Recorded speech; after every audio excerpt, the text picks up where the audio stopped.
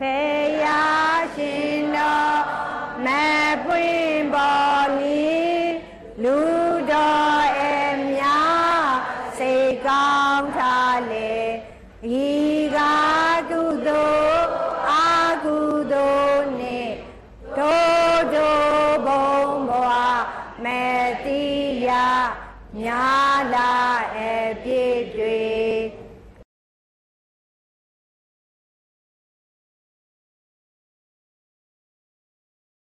အဲ့တော့ကျမတို့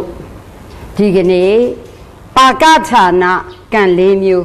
၄မျိုးလို့ရေးလို့မစမ်းသွားနဲ့စတုတ်ကပဲเนาะပါကဌာနကံ၄မျိုးဖြစ်တဲ့အတွက်ဘုံဌာနတွေကိုအကျိုးပေးတဲ့ကံ၄ပါးဒါကမ္မစတုတ်ကတွေကဒါနံပါတ်၄ခုမြောက်ခေါင်းစဉ်အဲ့ဒီပါကဌာနဘုံဌာနကိုအကျိုးပေးတဲ့ကံ၄ပါးကိုကြည့်တဲ့အခါမှာအာဟုတုကံ12ပါးပါမယ်ကာမဒါအကုသိုလ်ကံ12ပါးကပြောခဲ့ပြီးပြီအပယ်လေးဘုံဌာနကို အကျိုးပေးမဲ့ကံ၄မျိုးဒါကြောင့်ဒီအကုသိုလ်ကံ12ပါးကိုပြုလုပ်ခဲ့ရင်ဖြစ်ခဲ့မယ်ဆိုရင်အကုသိုလ်ကံ12ပါးမိမိတို့မှာစီပူရရှိခဲ့မယ်ဆိုရင်အပယ်လေးဘုံဌာနကိုအကျိုးပေးလိမ့်မယ်တခါကာမကုသိုလ်ကံ10ပါးစီပူရရှိခဲ့မယ်ဆိုရင်တော့ကာမတုဂရိ9ဘုံဆိုတဲ့လူဘုံနဲ့နတ်ပြည်6ထပ်ကိုရောက်ရှိနိုင်တယ်ရူပကုသိုလ်ကံ5ပါး ရူပကုသိုလ်ကံ၅ပါးလို့ပြောတဲ့အတွက်ပထမဇန်ကုသိုလ်ဒုတိယဇန်ကုသိုလ်တတိယဇန်ကုသိုလ်တစ်ပါးစီနဲ့ပြည့်စမဇန်ကုသိုလ်တစ်ပါးဒီကံ၅ပါးကိုပြုလုပ်ခဲ့မယ်ဆိုရင်တော့ရူပ16ဘုံဌာနကိုရောက်ရှိလိမ့်မယ်အရူပကုသိုလ်၄ပါးအရူအရူပကုသိုလ်၄ပါးလို့ပြောတဲ့အတွက်အာဂါသနိစာယရဏကုသိုလ်တစ်ပါးကနေနေဝတင်ညာနာတင်ညာယရဏကုသိုလ်တစ်ပါးထိ၄ပါးသည် သက်ဆိုင်ရာအရူပ၄ဘုံကိုရောက်ရှိမယ်ဒါဆိုရင်ဘုံဌာနကိုအကျိုးပေးမဲ့ကံကိုကြည့်ရင်အခုအပြာရောင်နဲ့ကျွန်မရေးပေးထားတယ်ဒါကိုသတိထားကြည့်ရင်အကုသိုလ်ကံနဲ့ဆိုင်တာဒီ12ပါးရှိပြီးတော့ကျန်တဲ့ကံ3ခုတို့သည်ကုသိုလ်တွေအကုန်လုံးသည်လောကီကုသိုလ်18ဆိုတာမြင်နေရဒါဆိုရင်ပါကဌာနကံ၄ပါးသည်တရုတ်အရေးအတွက်နဲ့ပြောရင်အာကုသိုလ်ကံ12ပါးရဲ့ လောကီကုသိုလ်18ပါးရဲ့ဆိုရင်29ပါးလို့မှတ်ထားရမယ်အဲ့ဒီတော့ကုသိုလ်က21ရှိတဲ့အထဲကလောကီကုသိုလ်18ပါးသည်ကာတုဂရိဘုံတွေကိုအကျိုးပေးမယ်ဆိုတော့ဒုဂရိက၄ဘုံဆိုရင်သူဂရိက28ဘုံကိုအကျိုးပေးမှာပေါ့ဒါဆိုရင်ဒါကိုပဲကျမတို့စာမွေမေကိုအနေနဲ့ 30ဘုံဌာနတွေကိုအကျိုးပေးသောကံ၄ပါးလို့မေးရင်လေဒီ၄ပါးပဲရှိရမယ်ဒီကံတွေအကုန်လုံးဒီပေါင်းလိုက်32ဘုံအကုန်ပါမှာပါအာကုသိုလ်ကံ12ပါးသည်အပယ်၄ဘုံကာမကုသိုလ်10ပါးသည်ကာမတုဂရိ9ဘုံပေါင်းလိုက်လို့ရှိရင်အပယ်၄ဘုံရယ်ကာမတုဂရိ9ဘုံရယ်ပေါင်းလိုက်ရင်ကာမ17ဘုံဒါဆိုရင်စာမမေကွန်းကဖြတ်မေးလို့ရတယ် ကာမ17ဘုံကိုအကျိုးပေးသောကံလို့ပြောရင်အာဟုသောကံ12ပါးရယ်ကာမကုသိုလ်10ပါးရယ်ပေါင်းလိုက်ရင်20ဒီကာမကံ20ပေါ့ကာမကံ20ဒီကာမ17ဘုံကိုအကျိုးပေးမယ်ဟုတ်လားအဲ့ဒီလိုဖြတ်မေးလဲဓမ္မမိတ်ဆွေတို့မြင်နေရမယ်နော်ဘာလို့လဲဆိုတော့ကမ္မစတုတ်ကခေါင်းစဉ်ကြီးမှာဒီနံပါတ်၄စတုတ်ကဒီအရေးအကြီးဆုံးဖြစ်နေပြီ နော်ကြည်စင်ပိုင်းနေနဲ့ကိုဘဝမှာကံကံရဲ့အကျိုးကိုနားလည်ထားဖို့ဆိုရင်တော့ခုနကလိုကံတို့ရဲ့အကျိုးပေးပုံတွေကံတို့ရဲ့လုပ်ငန်းတွေအလှည့်အကျိန်တွေဒါတွေတော့ဓမ္မမိတ်ဆွေတို့သဘောပေါက်မှကျမတို့မှာယုံမတန်တရားကင်းသွားမယ်နင်းမို့ဆိုရင်ဟိုဘက်အပိုင်းတွေမှာနားမလဲထားရင်ကျမတို့ကောင်းတာလုပ်ပေးမယ်မကောင်းကျိုးတွေရနေပါဘောလားစသည်ဖြင့်ဒီပေါ်မှာယုံမတန်တရားဖြင့် तू ကတော့မကောင်းတာလုပ်နေပေမဲ့ကောင်းကျိုးတွေကြုံနေပါဘောလားတကယ်တော့ကြုံနေတဲ့ကျိုးကဘယ်ကာလအမှန်လဲကိုလည်းမသိဘူးဒါမျိုးကိုကနားလဲရအခု ကံနေမှာကိုလုတ်သွားပြီကို့မှာဖြစ်သွားပြီဖြစ်မြောက်သွားတဲ့ကံနေမှာလောဘအကုသိုလ်ကံဟဲ့လား၈ပါးရှိမယ်ဒေါသအကုသိုလ်ကံ2ပါးရှိမယ်မောဟအကုသိုလ်ကံ2ပါးရှိမယ်အကုသိုလ်ကံ12ပါးကိုယ်စီမှာတစ်ခုခုနဲ့အကြောင်းနဲ့ရထားပြီဆိုရင်တော့ဒီကံတို့သည်ဘယ်ကိုပို့မလဲအပယ်လေးဘုံဌာနခုကျမတို့ကာမကုသိုလ်ကံ10ပါးတဲ့ကတဘာပါရှိနေရင်တော့ကိုယ်စိတ်ညွတ်ရာ ကာမတုဂရိ9ဘုံနဲ့ကညွတ်ရာဘုံကို तू ဟာပို့လိုက်မယ်ဒါဆိုရင်ကျမတို့ကာမစက်တဘုံဌာနကိုအကျိုးပေးမဲ့ကံကိုကာမကံလို့နာမည်တတ်ရင်ရောမရဘူးလားကကာမကံပေါင်း20ကာမကံ20ထဲမှာအကုသိုလ်က7နှစ်ကုသိုလ်က8ပါတယ်လို့သဘောပေါက်ထားရမယ်နားလည်ပြီနော်တခါအောက်ကိုဆင်းလိုက်မယ်ရူပကုသိုလ်၅ပါးလို့ပြောတဲ့အတွက်ပထမဇန်ကနေပြင်စမဇန်အထိရူပကုသိုလ်၅ပါးသည် ရူပ16ဘုံကိုပို့လိုက်မယ်ဟုတ်ပြီနော်ဒါဆိုရင်ကိုယ်စီမှာဓမ္မမိတ်ဆွေတို့စီမှာကျမတို့စီမှာပထမဇန်ကုသိုလ်ဒုတိယဇန်ကုသိုလ်စသည်ဖြင့်ဇန်ကုသိုလ်တစ်ပါးပါအဲ့ဒီဇန်ကရူပဇန်ကုသိုလ်ရှိရင်သူတို့သည်အာကြီးတဲ့မဟကုတ်ကံနဲ့ပါသွားလားမပါသွားဘူးသေပြီးဒုတိယဘဝမှာကျိန်းတွေကိုရူပ16ဘုံတဘုံဘုံကိုအကျိုးပေးမမေး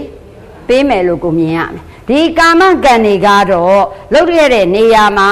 အပယ်လေးဘုံကိုပရိသန်တွေဂျိုးလဲပေးနိုင်တယ်ဟလာအကုသို့ဆိုအပယ်လေးဘုံကိုပရိသန်တွေဂျိုးလဲပေးမယ်ပိုးဒီကြရင်လဲအကုသလဝိဘက်ဆိုတဲ့စိုးကြိုးတွေတဲ့ဒုက္ခတွေကိုပဲဆင်းရဲဒုက္ခတွေပဲရောက်စင်မှာပေါ့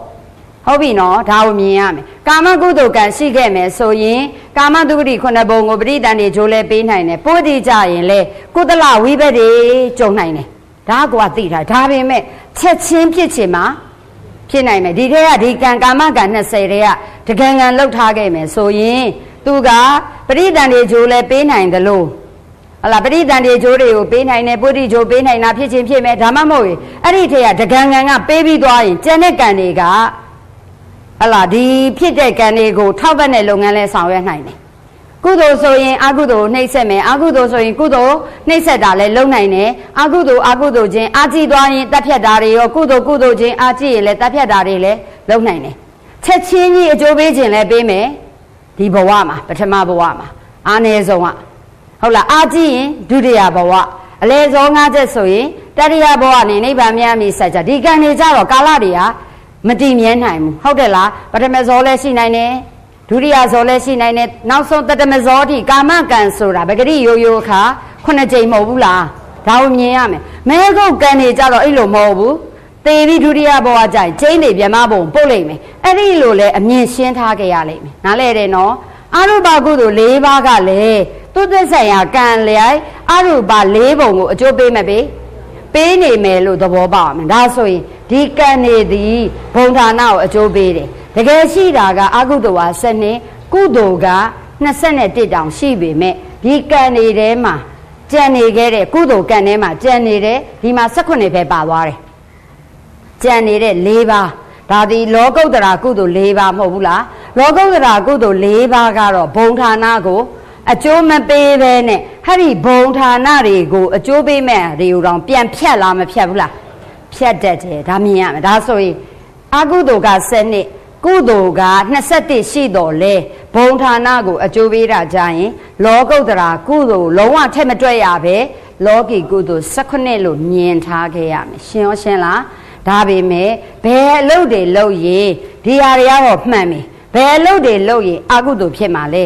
ဘယ်အလုပ်တွေလုပ်ရင်ကာမကုသိုလ်ဖြစ်မှာလဲဘယ်အလုပ်တွေလုပ်ရင်ရူပအရူပကုသိုလ်ဖြစ်မှာလဲဘယ်အလုပ်တွေလုပ်ရင်လောကုတ္တရာကုသိုလ်ဆိုတဲ့မက်ကိုဖြစ်မလဲဆိုတော့သိဖို့လိုမလို့ ဒါကြောင့်မြတ်စွာဘုရားဒီကံနေရဲ့ဖြစ်နိုင်ရာအလုတ်တွေကိုပြပြီပြတဲ့အခါမှာဒုစရိုက်10ပါးကို ပြုလုပ်ရင်တော့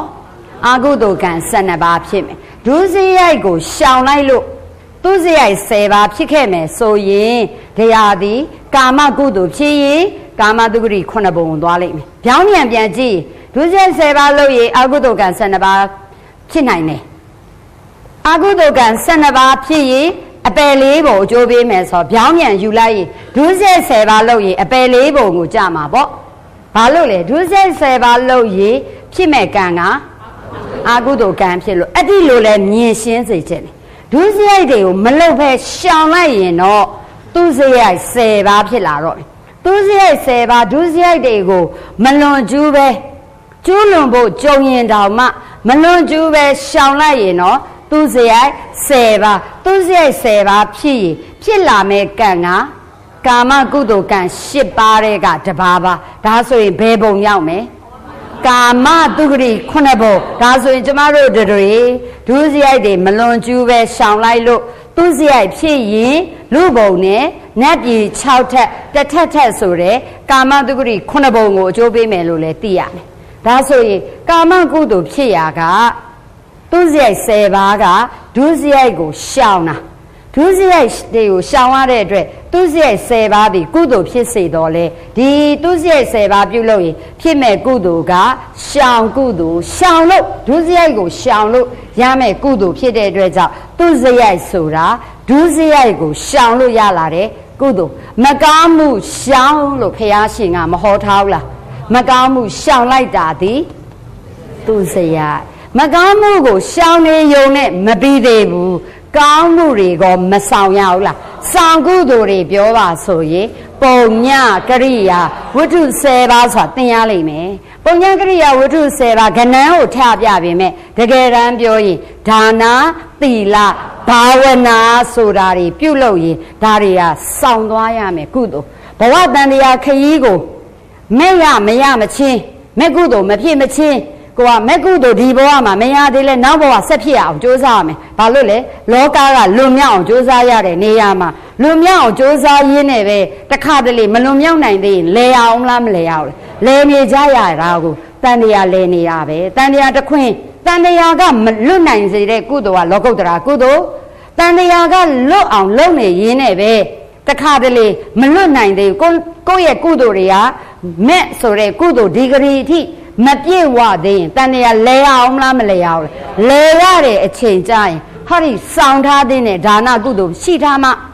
ဒါနရှိမှမစင်းရမှာလေဖြစ်လျာဘဝဒဏတွေပြည့်စုံရင်ကောင်းမှုကုသိုလ်အေးချမ်းချမ်းလုပ်နိုင်မှာဟုတ်တယ်လားဥမမတောက်ရင်သီလမစောင့်နိုင်ပါဘူးလို့မိုးကြိုးပြစ်တာကိုထမ်းလဲနဲ့ကာကြတယ်တကယ်တော့သီလမစောင့်နိုင်တော့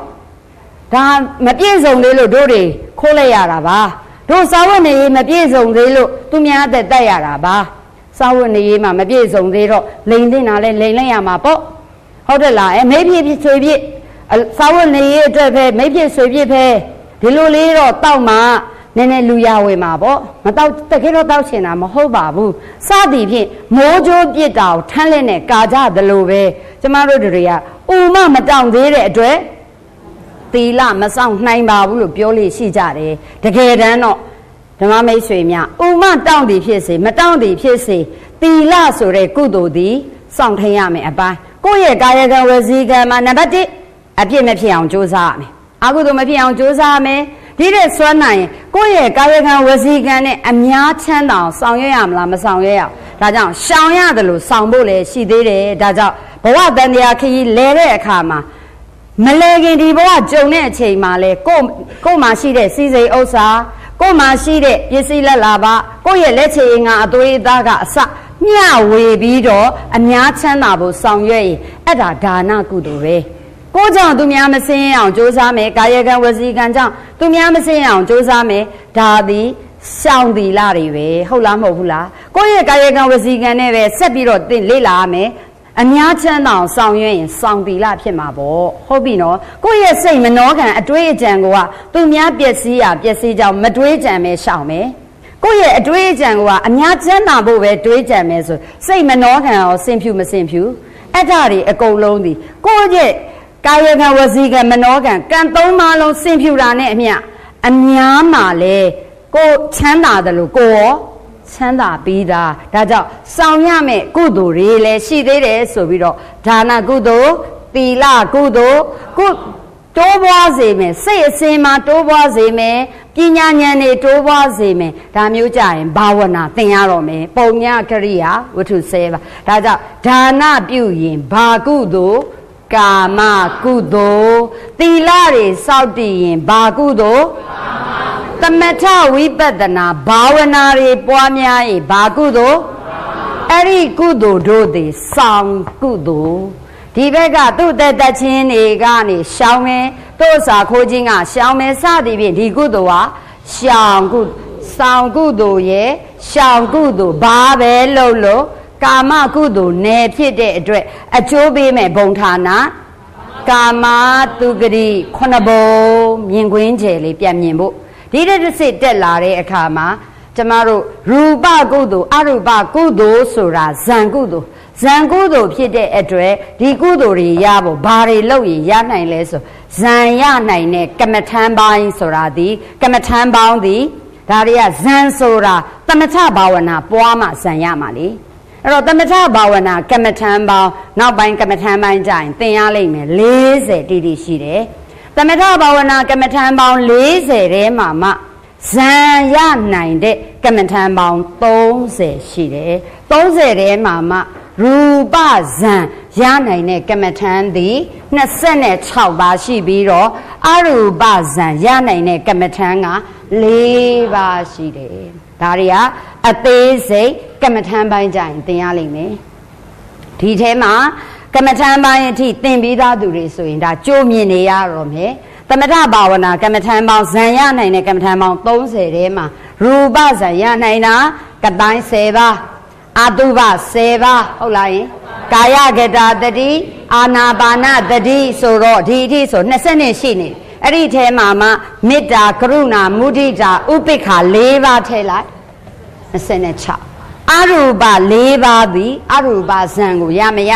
အာဂါတာနိစာယေရဏကမထံကိုပွားရင်အာကာတာနိစာယရဏဇံရရင်အာကာတာနိစာယရဏကုသိုလ်ကံဖြစ်မှာပေါ့ဒီဘုံကြောင့်အကျိုးပေးမှာအာကာဘုံသွားတော့မှာပေါ့အဲ့ဒီလိုမြင်ကွင်းချက်မြင်နေကြရဒါဆိုရင်ဘုံဌာနတွေကို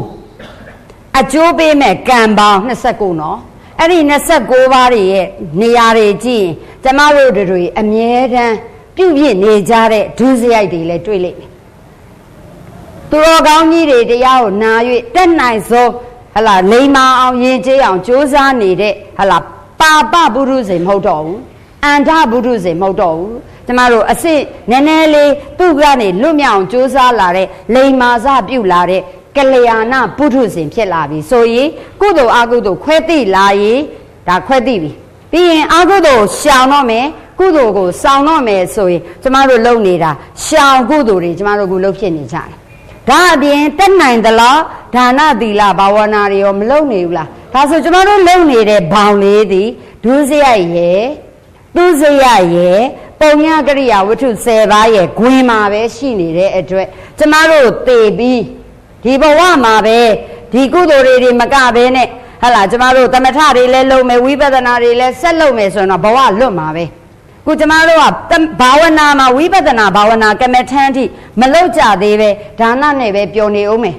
တီလာလောက်နဲ့ကျင်းနဲ့နေအောင်မယ်သမထဘာဝနာကိုပွားရလဲမိတ်တုံမိတ်တုံသမထလောက်ပဲပေါ့ဟုတ်တယ်လားဇံရောက်လောက်ထိမရောက်ဘူးဆိုကျမတို့သွားမဲ့ဘုံသည်ကာမတုဂရိခုနှစ်ဘုံသည်အမြင့်ဆုံးပဲရှိလိမ့်မယ်မြင်ရမယ်တကယ်လို့ဒီပုံညာကရိယာဝတ္ထု10ပါးထဲမှာပါလာမဲ့သင်လာမဲ့သမထဘာဝနာတွေကမှရိုးရိုးလေး ဟလာစိတ်ငြိမ်ုံလောက်လေးလောက်တာမဟုတ်ဘဲနဲ့ဇန်တိုင်အောင်ရလာရင်တော့ကျမတို့ရဲ့ခြေလန်းသည်ဗြမဘုံထိသွားမှာပေါ့အဲ့ဒီလိုမဟုတ်ဘဲနဲ့ကျမတို့တွေက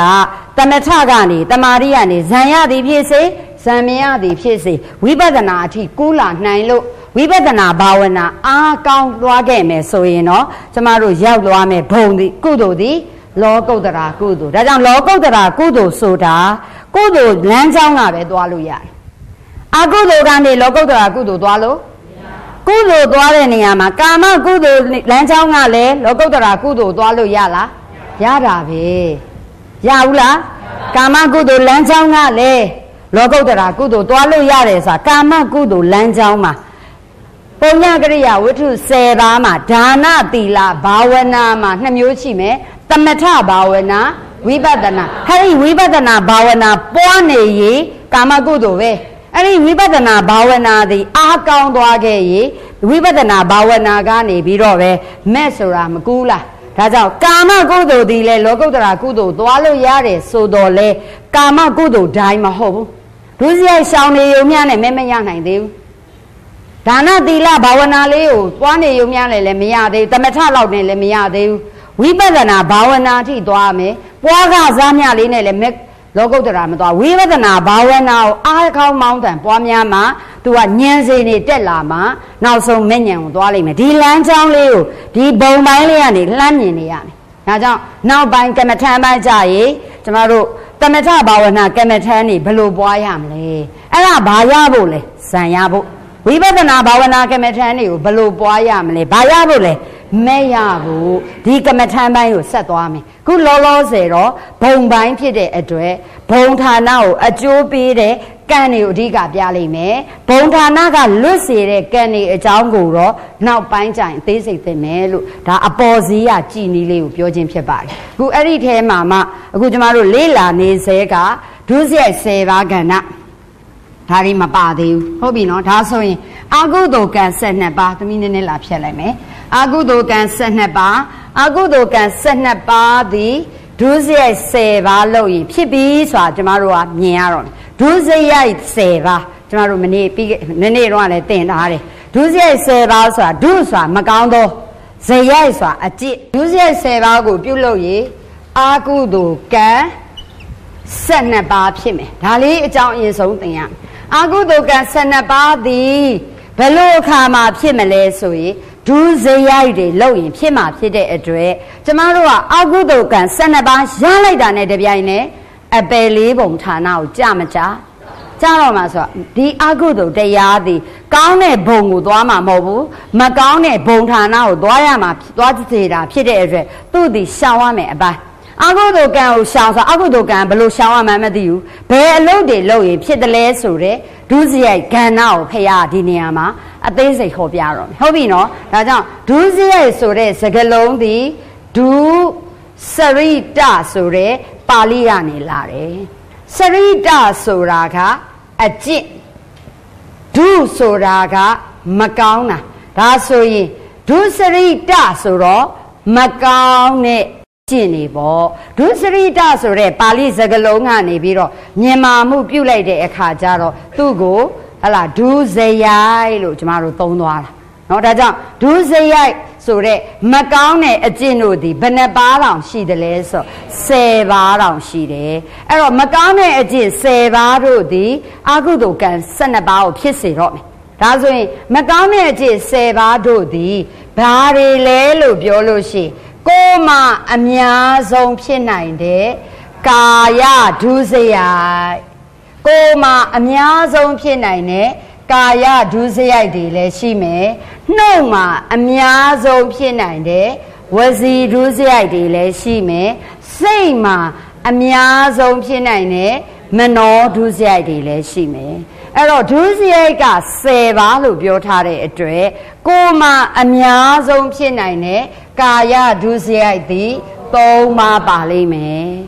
နှုတ်မှာအများဆုံးဖြစ်တဲ့ဝစီဒုစရိုက်သည်၄ပါးပါရမယ်10ပါးပါလို့ပြောထားတဲ့အတွက်ဒါစာကြက်တဲ့နီး10ပါးလို့ပြောထားတဲ့အတွက်3နဲ့4ပြောတတ်ရေးနောက်ဆုံးစိတ်မှာအများဆုံးဖြစ်နိုင်တဲ့မကောင်းခြင်းက 3ပါးဆိုမှတ်နည်းလွယ်ပါတယ်ဟဲ့လားကဏန်းလောက်ပဲကလေးလေးလိုပဲမှတ်ကြမယ်ဆိုရင်3 4 3ပါပဲဟုတ်ပြီနော်ကာယဒုစရိုက်က3ပါဝစီဒုစရိုက်က4ပါမနောဒုစရိုက်က3ပါပေါင်းလိုက်ရင်ဒုစရိုက်ဆိုသောမကောင်းခြင်းသည်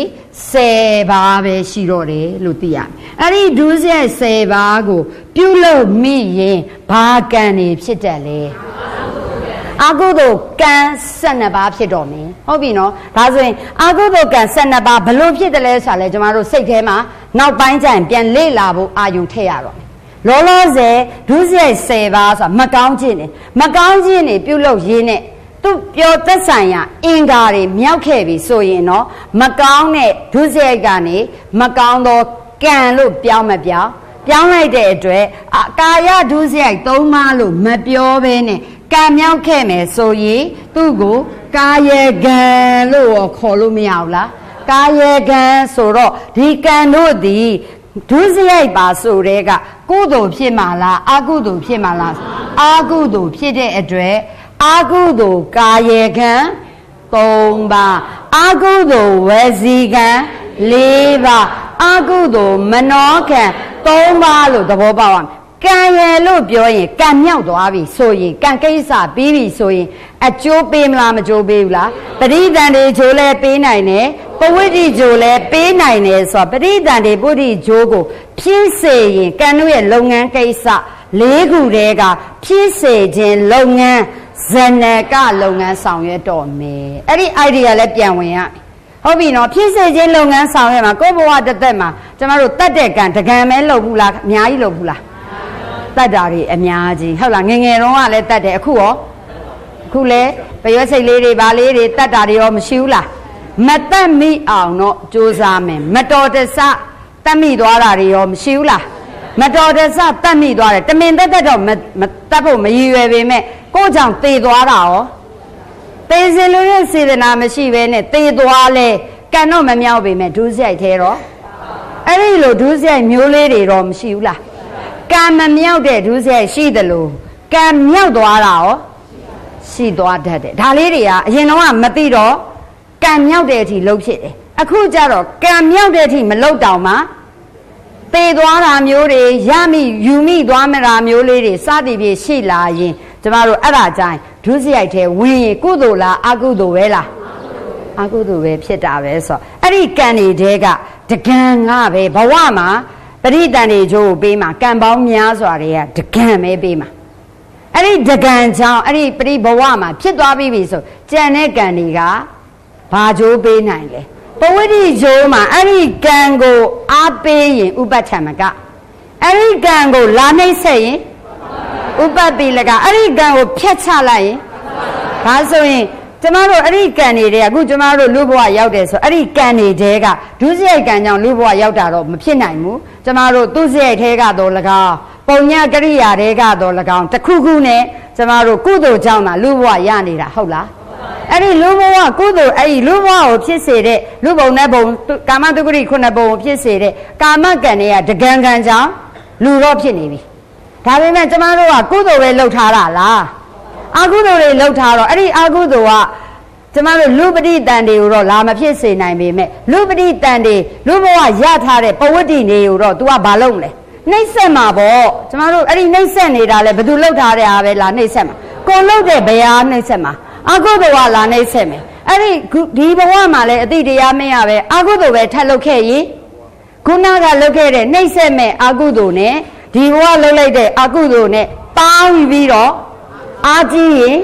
ဒီလူဘဝမှာကြာကြာမနေရပဲနဲ့သေသွားရမှာပေါ့ဟုတ်လားရိုးရိုးပုံမှန်နည်းနဲ့သေရင်ပြဿနာမရှိဒါရိုးရိုးသေသွားတာသေချင်းကြလို့သေတာဒီလိုမဟုတ်ပဲနဲ့သူများကြောင့်တော့၎င်းတခုခုကြောင့်တော့၎င်းလက်တလောသေသွားရတာဆိုရင်ကံစိုးကြောင့်သေတာဆိုဥပ္ပစ္စေတကမဟုတ်ဘူးလားအဲ့ဒီလိုမြင်ရမှာအပယ်လေးပုံဘဝကြနေတဲ့တတ္တဝါတို့ကတော့ဒီအာကုသိုလ်ဒုစရိုက်ထဲကတကံကံကြောင့်သူတို့ကြသွားတာပဲ ကြတာအဲ့ဒီအကုသိုလ်နေရှည်ရဲ့ရှည်ဆွဲလို့လို့ကြသွားတာလည်းဖြစ်ချင်းဖြစ်မယ်ပေကံနီးမှာအကုသိုလ်စိတ်တစ်ခုခုနဲ့အကုသိုလ်ဒုစရိုက်တစ်ခုခုနဲ့ပေကံနီးမှာဖြစ်သွားတာရောမဖြစ်နိုင်ဘူးလားဖြစ်နိုင်တာပဲသဘောပေါက်ရမယ်နော်အဲ့ဒီလိုဖြစ်ခဲ့ပေကံနီးမှာကပ်ဖြစ်ရင်အတ္တနကံပေါ့နော်အဲ့ဒီလိုမြင်ရမှာပေါ့အကုသိုလ်ဒုစရိုက်တွေကသူ့အသက်တတ်တာရိုးရိုးမတတ်ဖဲနဲ့အဖေသွားတတ်မိတယ်အမေသွားတတ်မိတယ်ဆိုဘာနာတိပါဒပေမဲ့ အမေတော်၎င်းအဖေတော်၎င်းကျေးဇူးကြီးမားတဲ့ပုဂ္ဂိုလ်တတ်မိပြီဆိုရင်အဲ့ဒါဟာလာပင်စာနန္တရိယကံနဲ့ပါမပါပါပြီဆိုရင်တော့သူတို့အပယ်ကြတာကြတော့ဒီဟာဂရုကံအာကုသိုလ်ကြီးကြောင့်ဖြစ်သွားတာပေါ့အတိလိုလေးတွေကိုတင်တဲ့တရားတွေနဲ့ပြန်ပြီးတော့ဆက်ဆက်ကြည့်ရမယ်ဒါဆိုရင်ကျမတို့ကအကုသိုလ်ဒုစရိုက်10ပါးထဲမှာကာယကံ3ပါးဆိုတာကံမြောက်သွားပြီပေါ့အဲ့တော့ကံမြောက်သွားရင်အလုံးပေါင်းကာယပဲဖြစ်ဖြစ်ဝစီပဲဖြစ်ဖြစ်မနောပဲဖြစ်ဖြစ် ကံမြောက်ပြီဆိုရင်အကုသိုလ်ကံ12ပါးဖြစ်တာကိုတော့ကျမတို့ဘလို့ပြန်တွက်မလဲဆိုတာတွက်နည်းနဲ့အခုကျမတို့တွက်မယ်နေရတယ်အဲ့တော့အခုကျမတို့ဒီမှာကြည့်တဲ့အခါမှာကာယကံဆိုတဲ့နေရာမှာအခုပြောနေတာ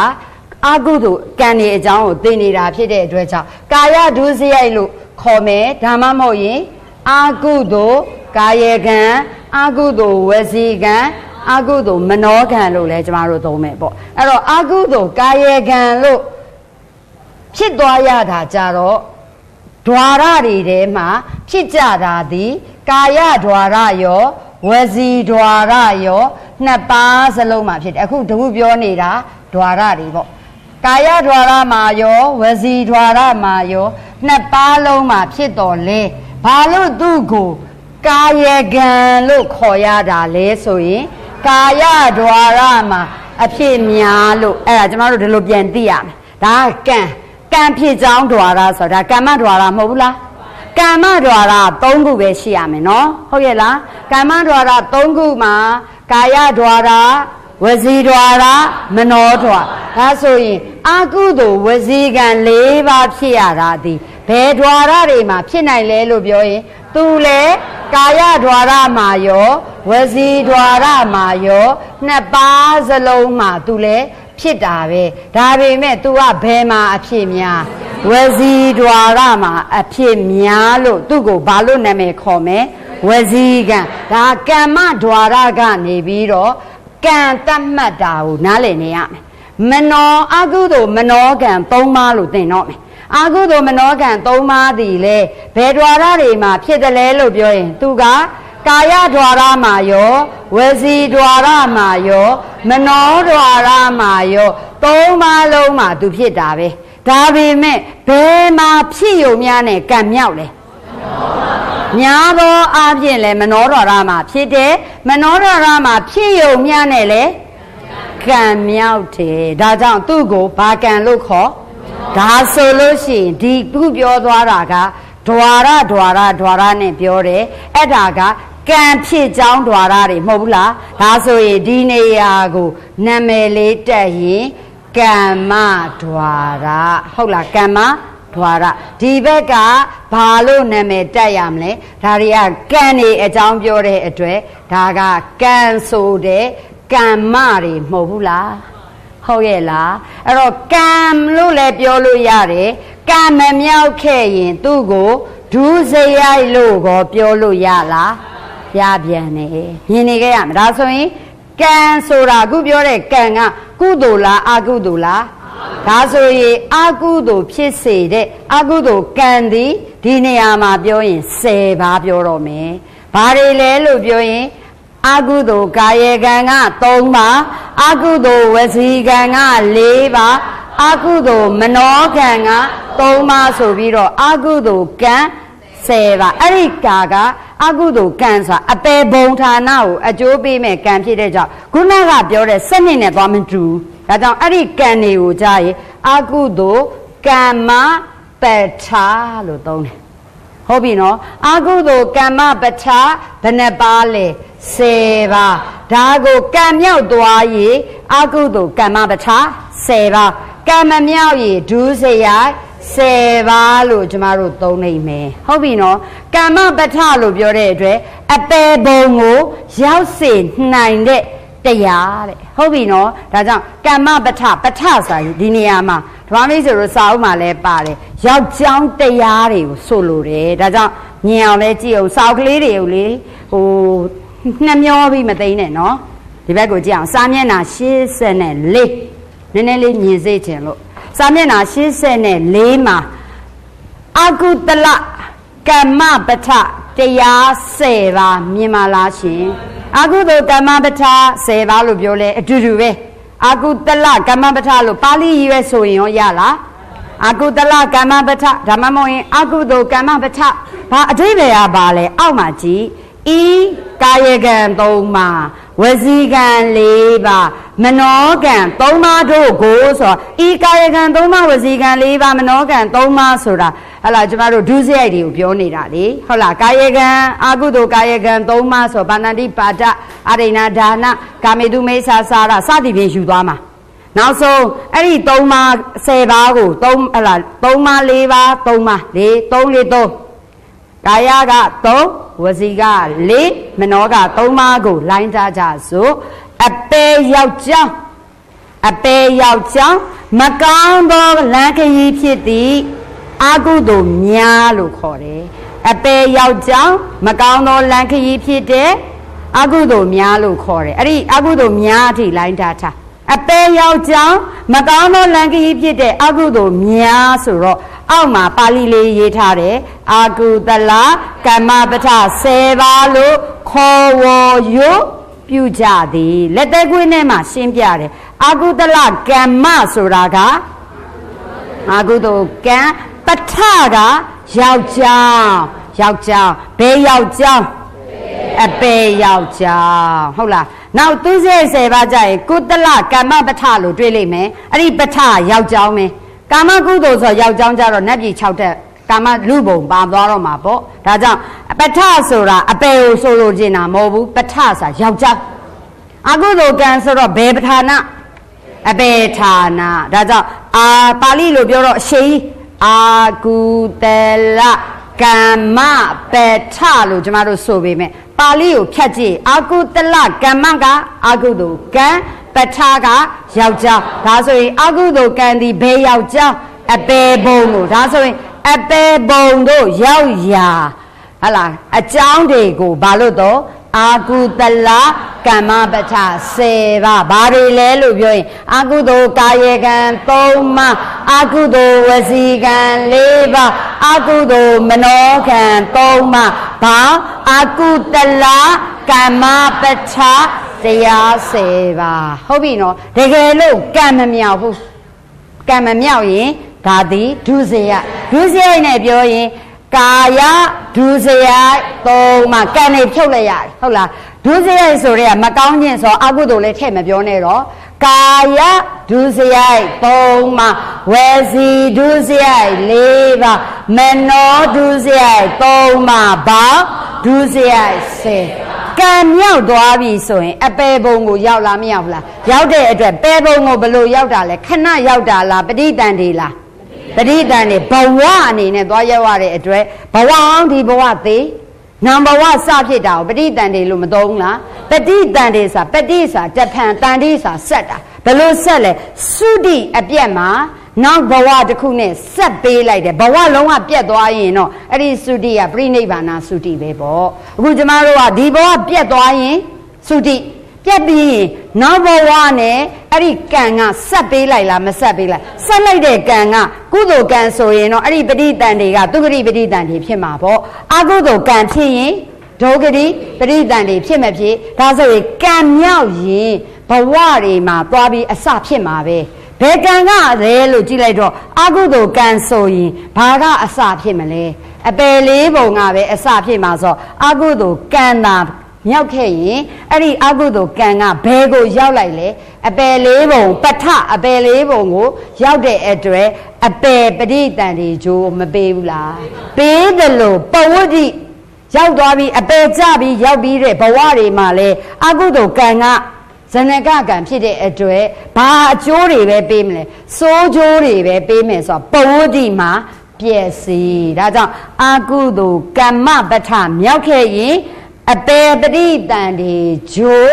ပဝတ္တိပျက်စီးတကယ်လို့ကံမမြောက်လို့ဒုစရိုက်ဖြစ်ရင်တော့ပရိတန်ဒီဂျိုမပေးတော့လဲဖြစ်လျာဘဝတွေမှာပဝတ္တိမှာ ပျက်စီးဖြစ်စေတယ်လို့သဘောပေါက်လိုက်ရတော့မယ်ရှင်းပြီနော်ကဲဒါကဟိုရက်တွေတဲ့စာရင်အခုပို့ပြင်းမယ်အဲ့ဒီမှာမှအခုကျမတို့ကကံမြောက်ကြောင်းဓွာရတွေကမ္မဓွာရတွေဒီအဖြစ်များရာဓွာရကိုဆိုတယ်လို့သိရမယ်ဓွာရသုံးခုလုံးမှာဖြစ်အောင်တော့လေအဖြစ်များရာဓွာရကိုလိုက်ပြီးကံတတ်မှတ်လားမတတ်မှတ်ဘူးလားဒါဆိုရင်ကာယရောဝစီရောမနောသုံးခုလုံးဖြစ်တော်လဲမနောဓွာရမှာအဖြစ်များရင်ပြောင်းပြန်ပြန်ကြည့်တာ ဒွါရနှစ်ခုမှာဖြစ်တော်လဲဝစီမှာဖြစ်များရင်နှစ်ခုမှာဖြစ်တော်လဲကာယမှာဖြစ်များရင်ဒီဟာလေးတော့သဘောပေါက်ရမယ်ဒါဆိုရင်အဲ့ဒီဒွါရတွေအလိုက်ဒီကံတွေကိုသဘောပေါက်ရေးအဲ့ဒီမှာအကုသိုလ်ကာယကံလို့ကာယနာမည်တက်လိုက်ရတဲ့ဟလာအကုသိုလ်ကာယကံကဘယ်နှပါလဲ၃ပါးအဲ့ဒီ၃ပါးဒီဘာလဲဆိုတာလေးပြန်ပြီးတော့ပြန်ကြည့်မယ်အဲ့ဒီ၃ပါးဒီဘာတွေလဲလို့ပြောရင် ပါဏာတိပါဒပါဏအတိပါဒသူအသက်သူအသက်တတ်ခြင်းပါဏာတိပါဒသူ့စာခိုးခြင်းဆိုမပေးတာတွေကိုယူတော့မပေးခြင်းသည်ပေးလူခြင်းသည်ဒိဏမပေးတာသည်အဒိဏမပေးတာကိုယူတာက အာဒါနဒီနှစ်ခုကိုပေါင်းလိုက်တော့အာရေးချအာလေးကဒီမှာလာဒါကြောင့်ကိုကစာရေးလိုက်တာနဲ့ရေးချသည်ဒီမှာလာကတ်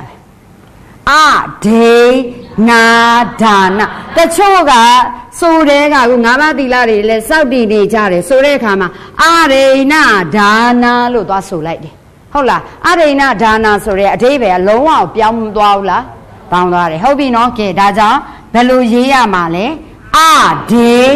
နာဒါနဘာလို့အဒေနာဒါနလို့ရေးလဲလို့ပြောရင်လဲမေးရင်လဲဖြေတတ်ရမယ်နော်မပေးတာကို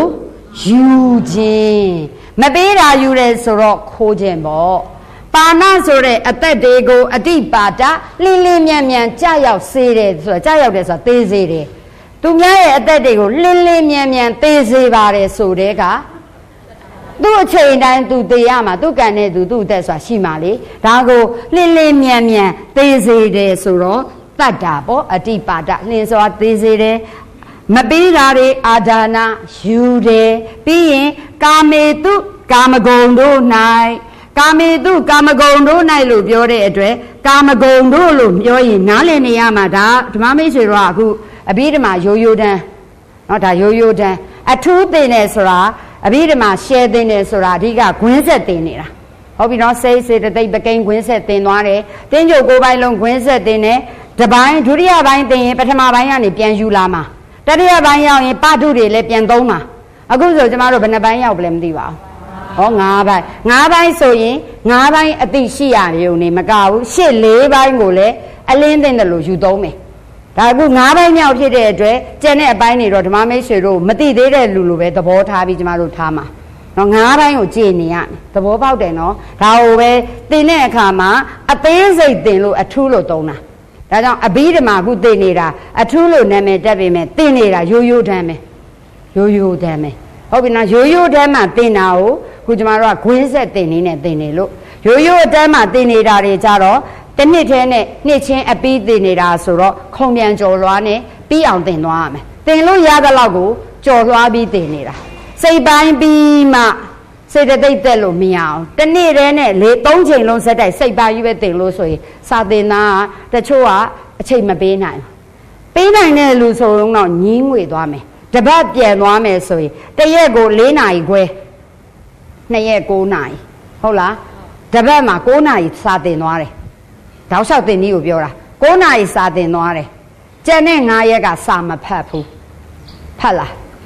မဖတ်ဘူးလေဟုတ်လားမနေ့ကလည်းဓမ္မမိတ်ဆွေတို့တစ္ဆာစကားပြောတယ်လေမဖတ်ဘူးနောက်တစ်ပတ်လာတယ်သူစာတွေက6 9နာရီစာစာကို तू ကမဖတ်ထားနောက်ထပ်ဆက်တင်တယ်သူ့အတွက်ကစာကြွေးတွေတအားများသွားတယ်အဲ့ဒီတင်နေစနစ်နဲ့တင်ဘူးပါတယ်ကျမတို့တင်ကြည့်ဘူးတယ်မအောင်မြင်ဘူးဒါကြောင့်အဲ့ဒီတော့တယောက်တည်းတစ်စစ်နေကိုပဲ ဟလာတချို့ကကြတော့လေတပတ်ကို၄တရက်ကို၄နာရီခွဲစနေတနင်္ဂနွေမပေးနိုင်ဘူးတချို့ကစိုင်ပြန်ပြေးထွက်ရတာရှိတယ်တချို့အိမ်ကိစ္စလုပ်ရတာရှိဆိုတနာရီခွဲလောက်ဆိုရင် तू တက်နိုင်လားမတက်နိုင်ဒါကြောင့်ပထမဆင်းလောက်ပဲအချိန်ပေးနိုင်တဲ့သူတနာရီခွဲတင်ပြီးရင် तू ပြန်သွားအာနောက်တဲ့အချိန်ပေးနိုင်တဲ့သူနောက်တစ်ချိန်မှာဆက်တဲ့၃နာရီချိန်ပေးတချို့3နာရီလောက်ချိန်ရတဲ့သူကပြီးရင်ပြန်သွားအဲတချို့4နာရီခွဲလုံးချိန်ပေးနိုင်တဲ့သူဆိုတာ3ချိန်တက်ပေါ့ အဲ့တော့သူ့အစ်စ်လေးနဲ့သူသွားထားတော့ဒီနေ့ပထမဆင့်တက်မယ်12နာရီကနေတနာရီခွဲတက်ဒီတိုင်းပုံမှန်လေးလာတက်ဆိုအိမ်ကထွက်လာလဲတိတ်မသိတာဘူးဟုတ်တယ်လားအဲခုနပြောလို့ဈေးကထွက်လာလဲခဏလောက်ထားခဲ့လို့ရတော့ပေါ့အဲဒါနောက်တစ်နေ့ကျရင်အဲ့ဒီလူကအလဲချိန်ပြောင်းပေါ့သူကတလားတနာရီ12နာရီတနာရီခွဲဆို2နာရီကနေ3နာရီခွဲအချိန်ပေးဒုတိယစစ်သူတင်လို့ရတယ်နောက်တစ်နေ့ကြာလို့ရှိရင် 4နာရီကနေ9နာရီဟလာ3နာရီ45ကနေပြီးတော့9နာရီ15လောက်လာတဲ့သူကမပင်မပန်းလေးနဲ့ပဲသူကတဆင့်ပြီးတဆင့်ကို3နှစ်လောက်တက်လိုက်ရင်အေးစိတ်ပြီးသွားတယ်တချို့ကြတော့အချိန်ကလည်းမပေးအချိန်ကလည်းသိမ့်မရဘူးဒါပေမဲ့ဒီနှစ်တော့အခြေအနေပြီးတော့တချို့ကြတော့တစ်နှစ်ထဲနဲ့30လုံးအပြီးကိုးပိုင်းလုံးအပြီးတင်ကျင်တဲ့သူဆိုရင်တော့ကျမတို့ကပထမအချိန်ဒီစိတ်ပိုင်း ဒုတိယအချိန်ကျရင်ဒုတိယဇင်နဲ့ကစာတင်လို့တခြားအပိုင်းတွေနဲ့ဆက်ဆက်လို့ရတယ်ဘုံပိုင်းကိုကျမတို့တင်တယ်အခုဘုံပိုင်းကိုတင်တယ်ပြီးရင်တတိယအချိန်ကျရင်တခြားအပိုင်းတွေနဲ့ဘာမှတိတ်မရောရှက်သေးတဲ့ကမ္မထမ်းပိုင်းတင်လိုက်တော့အဲ့ဒီပုဂ္ဂိုလ်ကစိတ်ပိုင်းတင်ပြီးဘုံပိုင်းတင်လဲရှေ့နဲ့နောက်နဲ့မဆက်ဘူးဘုံပိုင်းပြီးတော့တခါကမ္မထမ်းတင်လဲကိစ္စမရှိတက်တက်စီသွားတယ်ပြီးတော့မှအဲ့လိုလေးတွေတင်ထားတော့ရိုးရိုးတန်းကြတော့အဲ့ဒီလိုအချိန်ကိုလွတ်ပြီးတော့တနှစ်ထဲအပီး တင်းချိုကိုပိုင်းတင်နေဆိုတော့ကျမတို့ကတစ်ခုနဲ့တစ်ခုဂွင်းဆက်ကဘယ်ကြမှာပြောလို့ရလဲဆိုရင်တတိယစာတင်နှစ်ပေါ့နော်တတိယဟောလားတတိယဘိုင်းရောက်သွားပြီပေါ့တတိယဘိုင်းဆိုပထမဘိုင်းဟာစိတ်ဘုံကမ္မထံဒုတိယနှစ်လလောက်ကြာသုံးနှစ်လလောက်ကြာပြီဆိုရင်စေတသိက်ဒီဘက်ကယောဂေဒီဘက်ကသမုတ်စီနောက်နှစ်လကြာသွားပြီဆိုရင်ဟလာပကေးရယ်ဝီထိရယ်ပစ္စည်းအခက်ဆုံးပိုင်းမယ် အဲ့ဒါလည်းပြီးသွားပြီဆိုတော့ကျမတို့စာတင်တာပဲ6လလောက်ဖြစ်သွားပြီမေလောက်ကနေသွားလိုက်တာ May June July August September October November ခုနှစ်လနီးပါးဖြစ်သွားပြီအဲ့ဒီလောက်ပြီးသွားပြီဆိုတော့ तू ကသင်းကြုံကိုယ်ပိုင်စုံပြီလားမစုံလားစုံသွားပြီဆိုတဲ့အချိန်မှာနည်းနည်းလေးလဲလဲတက်တဲ့သဘောလေးပေါက်တော့မယ်ဆိုစာမေးပွဲကဝင်ပြီအဲ့တော့ကျမတို့ကစာမေးပွဲကဒီဇင်ဘာဆိုဖြေရမယ်ဆိုအဲ့ဒီ November နဲ့ဒီဇင်ဘာသူစာမေးပွဲဖြေမယ်ဂျားလေးတစ်လနီးပါးလောက်ပဲရှိတယ် အဲ့ဒါကြရင်ကျမတို့က revision တွေသင်ရတယ်အဲ့ဒီလိုနည်းနဲ့လဲနားလဲတော့မယ်ဆိုတော့စာမေးပွဲဝင်စာမေးပွဲအတွက် prepare လုပ်ဖြေလိုက်ဖြေလဲပြီးရောပြီးသွားပြီလေအဲ့တော့တင်းချိုကိုပိုင်းကို तू ကဂွင်းဆက် तू မသိဘူးမသိဘဲနဲ့စာမေးပွဲဖြေတဲ့အထိပြီးသွားပြီဆိုတော့တက်လို့လားဆိုတော့မေးတာရယ်ကိုကြက်ထားတာရယ်တိုးတော့အောင်တာပေါ့ဟုတ်တယ်လားဟုတ်တယ်လားကိုမကြက်တာ तू ကမမေးပြန်တော့လဲအောင်တာပဲမဟုတ်ဘူးလား ကိုကလည်းမကျဲသူကလည်းမမေးကိုကလည်းကျဲသူကလည်းမေးဆိုအောင်သွားတော့အောင်လာပြီဆိုမဲ့လူကဘာဖြစ်လာပြီလဲဆိုငါတို့ဘာဆက်တက်ရမလဲမဲသူကပြောင်းလာပြီပြီးဒီမှာဂုံဒူးဆောင်တန်သူတို့ဝင်တက်ပြီဒါမှမဟုတ်လဲဝိသုဒ္ဓိမဲ့တက်ပြီအပြီးဒီမှာကမကြေနေဘူးဒီမှာမေးရှင်အဲ့ဒီလိုနည်းနဲ့ပဲအဘိဓမ္မာပြီးဒီကာကျော်ပြီးဝိသုဒ္ဓိမဲ့လည်းပြီးရောကိုကိုကိုကအတန်းနေပြီးပြီးအောင်လာတာပဲသိတယ်တကယ်တော့ကိုမကြေနေတာကိုကကိုလည်းစာတင်တာသိမသိဘူး ဟုတ်ပြီနော်အထူးသဖြင့်အဘိဓမ္မာပြီးလို့ဝိသုဒ္ဓိမဲ့တက်သွားတဲ့သူကစာမကြည်တာတိတ်ကိုမသိဘူးအဘိဓမ္မာပြီးလို့အဘိဓမ္မာဂုံတူးဆောင်တီကာကျော်တက်ပြီဆိုရင်တော့မကြည်တာတွေအဲ့မှာအကုန်ပေါ်တော့တာပဲ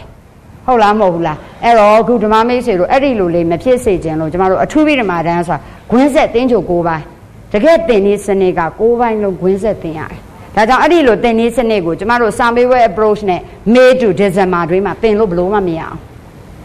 ဟုတ်ပြီနော်တင်ခဲ့ရင်ရောမရဘူးလားတချို့နေရာတွေတင်နေပါတယ်တင်ပါတယ်တင်တဲ့အခါမှာစာတင်တာတပတ်စာတပတ်စာစာတင်ပြီးသွားတာစိတ်ပိုင်းကြီးပဲစဉ်းစားကြည့်စိတ်ပိုင်းကအခုလိုမျိုးအေးစစ်စစ်တနာရီခွဲတင်မှာမဟုတ်တော့လေတရက်ကိုဟာလားနှစ်ရက်ပဲတင်မှာတရက်ကို၄နာရီခွဲနှုံးနေဆိုတော့9နာရီသူတင်သွားတဲ့အခါအဲ့ဒီစာတင်တာဘာဖြစ်လာဆိုစာကြွေးတွေအရန်ထက်လာထက်လာတော့သူလည်းအဲ့ဒီလိုနီးနေနေတော့အကြောင်းကြောင်းကြောင်းဒီတစ်ပတ်ပြက်သွားပြီ ပြက်သွားရင်9နာရီစာသူလွတ်သွားပြီနောက်တစ်ပတ်လာတယ်သူမသိဘူးနောက်တစ်ပတ်လာပြက်လက်စနဲ့အဲ့ဒါဘာဖြစ်လဲတောက်လျှောက်ပြက်သွားပြီးတော့အဘိဓမ္မာဆိုလုံးဝသူပြန်မတင်တော့ဘူးအဲ့ဒီလိုနီးနေဆိုရင်စာသင်သားဘက်ကလည်းအဘိဓမ္မာဒေသနာကို तू ကလန့်ကိုသွားတော့တာ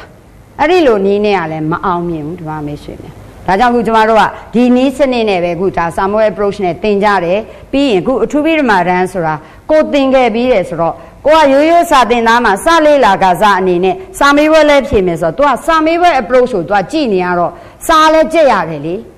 တပိုင်းပြီးတပိုင်းကျမတို့ကလည်းစာမွတ်စစ်လားမစစ်ဘူးလားအဲ့တော့ तू ကစာလဲ तू တခါမှမရဘူးတဲ့စာမတင်ဘူးတဲ့စာစလုံးတွေကလည်းအခုလိုပဲစိမ့်နေတယ်သဘောတရားတွေကလည်းမြင့်နေတယ်ဆိုတော့ကျမတို့ကစာသင်သားစာမေးပွဲ approach နဲ့ပဲတွားရင်းနဲ့ तू ကအရာသာပေါ်ချိန်အောင် तू သိမ့်မရအောင်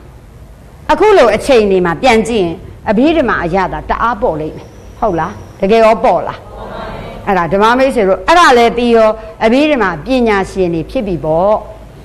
ဒါပေမဲ့မနေ့ကသစ္စာစကားပြောတဲ့အတိုင်းဆိုရင်တော့လေဖြစ်တယ်လို့လို့မဖြစ်တယ်လို့လို့ဖြစ်မှာပေါ့ဟုတ်တယ်လားတလို့လို့တဲ့တော့ဝင်မဝင်ဝင်နေနော်ဘာပဲပြောပြောအခုအချိန်ထိကတော့ဟုတ်ဟုတ်ပါပဲတော်တော်ကြာကြာရင်ဟုတ်မဟုတ်ဟုတ်မဟုတ်နောက်ပိုင်းကြာရင်တော့ရှူးကြမှာပါဟုတ်တယ်နော်အဲ့တော့အခုမြင်အောင်ပြောနေတာ ဒါကြောင့်ကာမေတုလို့ပြောရင်ကာမဂုံတို့၌မနေ့ကလည်းပြောပြီးပြီကာမဂုံတို့၌လို့ပြောတဲ့အတွက်ကြောင့်ကာမရဲ့ဂုဏရဲ့ပေါင်းထားတာကာမေတုအတိပ္ပယ်မြင်လိုက်တာ ਨੇ ကိုကသိနေရမယ်ကာမေတုကာမဂုံတို့၌ကာမဂုံတို့၌ဆိုတာကာမနဲ့ဂုဏပေါင်းထားတယ်ကာမလို့မြင်ရင်အဲ့ကာမဂုဏကိုအသက်တင်လိုက်တော့ကာမဂုံတို့၌ ကျမတို့အရက်ထဲမှာလည်းပြောတယ်ကာမဂုံခံစားနေကြတယ်လို့ပြောရင်ကျမတို့စိတ်ထဲမှာမကောင်းတဲ့အလုပ်တွေလုပ်နေတယ်လို့ထင်လားမထင်ဘူးလားတို့ကျမတို့ဟလာရုပ်ရှင်ထိုင်ကြည့်နေရင်လည်းအဲ့ဒါဘာပဲလဲကာမဂုံခံစားတာပဲသဘောပေါက်လားမှာဟုတ်တယ်လားအဲတခါတလေအထုတလဲဆိုင်ကောင်းကြီးတွေမှာသွားစားနေရောအဲ့ဒါကာမဂုဏ်ဒါကြောင့်ကာမဂုဏ်ဆိုတာဂုဏဂုံဆိုတာတီလဂုံတမာရီဂုံပညာဂုံမျိုးမှာသုံးတဲ့ဂုံမျိုးမဟုတ်ဘူးဒီဂုဏဆိုတာချီနှောင်တဲ့ဂုံ ချီနှောင်တဲ့ဂုဏလာတဲ့ဂုံဒါကြောင့်ဒီဂုဏချီနှောင်တဲ့နေရာမှာကာမအရာအာယု6ပါးကိုယူမယ်ကာမအာယု6ပါးကာမအာယု6ပါးကိုယူမယ်အစင်းအတန်အနတ်အရသာအတွေ့အထိဟာကာမစစ်စစ်သူသူနဲ့ဆက်ဆက်တာကိုပြန်ပြောင်းတွေးနေတာမျိုးတွေကြရင်ကာမနဲ့ဆက်တဲ့ဓမ္မယုံပါသွားမှာပေါ့ရူပါယုံ တတ္ထာယုံခန္ဓာယုံရတ္တာယုံဖွတ်တပါယုံပြီးရင်သူတို့နဲ့ပတ်သက်တဲ့ဆက်ဆက်တဲ့အာယုံကြရင်ဓမ္မယုံဒါကြောင့်ကာမအာယုံတချို့နေရာကြရင်၅ပါးသုံး၅ပါးကတော့အတိအကျမှန်တယ်ကာမအယုတ်6ပါးဆိုလဲမှားတာမဟုတ်ဘူးအဲ့ဒီသူနဲ့ဆက်ဆက်တဲ့ဓမ္မယုံ ဒါတွေတွေးကြံနေတာဒါကြောင့်ကာမအယုံ6ပါးတို့သည်တတ္တဝါတို့ရဲ့စိတ်အစဉ်ကိုလောဘတော်၎င်းဒေါသတော်၎င်းမောဟတော်၎င်းဖြစ်အောင်မာနတွေစသည်ဖြင့်အကုသိုလ်တရားတွေဖြစ်အောင်ချီနှောင်လားမချီနှောင်လားချီနှောင်လို့သူ့ကိုကာမဂုဏ်လို့သုံးတယ်အိဋ္ဌအာယုံ6ပါးသည်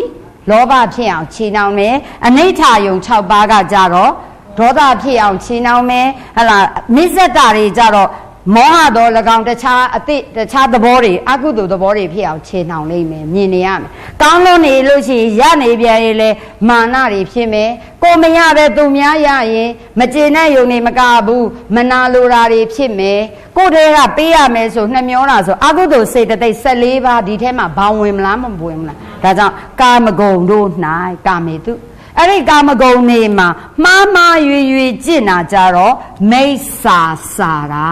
မိစ္ဆာစာရမှားမှားရွေမိစ္ဆာဆိုတော့မှားမှားရွေရွေစာရဆိုတော့ကျင့်နေဒါကြောင့်မှားမှားရွေရွေကြည့်ရကာမေတုမိစ္ဆာစာရာမနေ့ကလည်းပြောထားတယ်မိမိရဲ့ဇနီးခင်မွန်းချင်းပေါက်သိရင်ဒါကာမေတုမိစ္ဆာစာရာလို့မခေါ်ဘူးကာမဂုဏ်ကိုခံစားတယ်အိမ်ယာတီထောင်တဲ့လူတွေရဲ့အလုပ်မိမိရဲ့ဇနီးခင်မွန်းမှတပါအခြားဇနီးခင်မွန်းတွေပေါ်မှာဒီပေါ်မှာတက်မဲ့သောစိတ်နဲ့ရူပါယုံ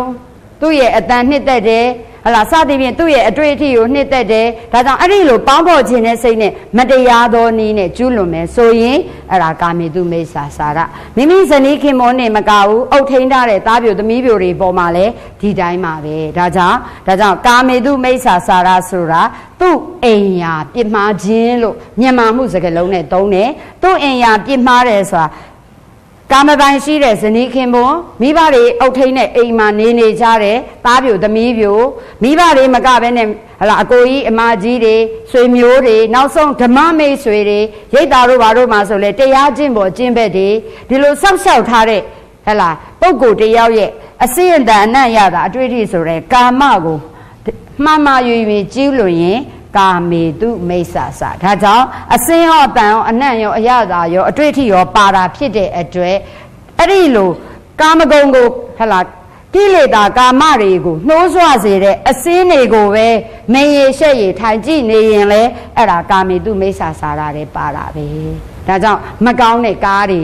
ဟုတ်တယ်လားမကောင်းတဲ့ရုပ်ပုံတွေတချို့ night club တို့ဘာတို့တွေဆိုရင်လေမကောင်းတာတွေကျမတို့သွားသွားကြည့်နေကြရင်ကြည့်မိနေကြတယ်ဟလားကျမတို့ဒါ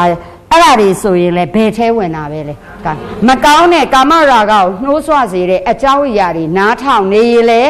ဒီတိုင်းပဲပါတယ်မကောင်းတဲ့ကာမရာဂကိုနှိုးဆွစေတဲ့အနတ်နေဟလားယောက်ျားယောက်ျားလေးဆိုရင်မိန်းကလေးကိုဆွဲဆောင်တဲ့ရင်မွေးအနတ်မျိုး အမိန်းကလေးဆိုလဲယောက်ျားလေးကိုဆွဲဆောင်မှုဆိုတကိုယ်လုံးမှာရင်မွေးနဲ့နေတုံးတယ်အနက်ပြီးရင်ဒီအနက်လေးကိုရှူခြင်းအပြင်နှစ်ယောက်စလုံးကာမရာဂကိုဖြစ်စေတယ်ဆိုရင်လေအဲ့ဒါမျိုးလေကာမအာယုန်တွေမှာချီနှောင်တတ်တဲ့ကာမအာယုန်တွေမှာမမယွင်ယွင်ကျင့်တာပဲဒီလိုမျိုးလေးတွေထိတယ်တချို့ဆိုရင်ဒီအရသာကိုစားရင်ကာမရာဂစိတ်တွေတိုးပွားစေတယ်ဒီဆေးကိုတောက်ရင်ဘယ်လိုဆိုရင်အဲ့ဒါရတ္တယုံမှာ မမယွင်ယွင်ကျင့်တာပဲမဟုတ်လားဒါကြောင့်ဆေးတောက်တာတို့အစားတောက်တို့တောင်ပါပြီဆိုရင်မူးရစ်စေလိုသောဆန္ဒနဲ့အသီးတွေအရွက်တွေစသည်ဖြင့်ဒါတွေကိုမူးအောင်စိန်ထားတဲ့စိန်ရည်တို့အရက်တို့ကိုဆိုရင်တောက်ရင်လည်းဘယ်ထဲပါလဲ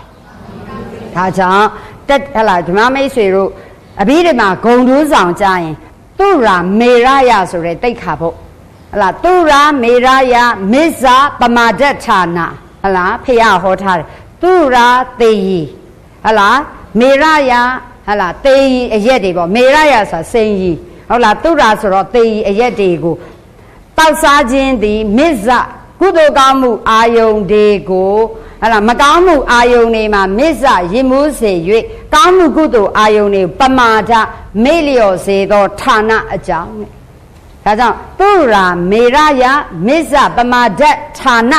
ဆိုရင်မေမကောင်းမှုဒုစရိုက်မှာရင်မှုစေ၍ကောင်းမှုသူစရိုက်တွေကိုမေ့လျော့စေသောအကြောင်းဖြစ်တဲ့တေယီတရက်တို့သည်ဘယ်ထဲမှာအကျုံးဝင်သွားလဲဆိုရင်ကာမေတုမိစ္ဆာစာရတဲ့အကျုံးဝင်တယ်သဘောပေါက်ဒါဆိုရင်ဒီသုံးပါးတို့သည်သူပြောတဲ့အတိုင်းကံနေရှိမယ်ပါဏာတိပါဒကံမြောက်ဖို့ဆိုရင်အင်္ဂါဘယ်နဲ့ချက်ပြောကြည့်ရအောင်နံပါတ်1တတ္တဝတက်ရှိတတ္တဝါလည်းဖြစ်ရမယ် တတ္တတက်ရှိတတ္တဝါမန်လည်းသိရမယ်သေးစေလိုသောစေတနာလည်းရှိရ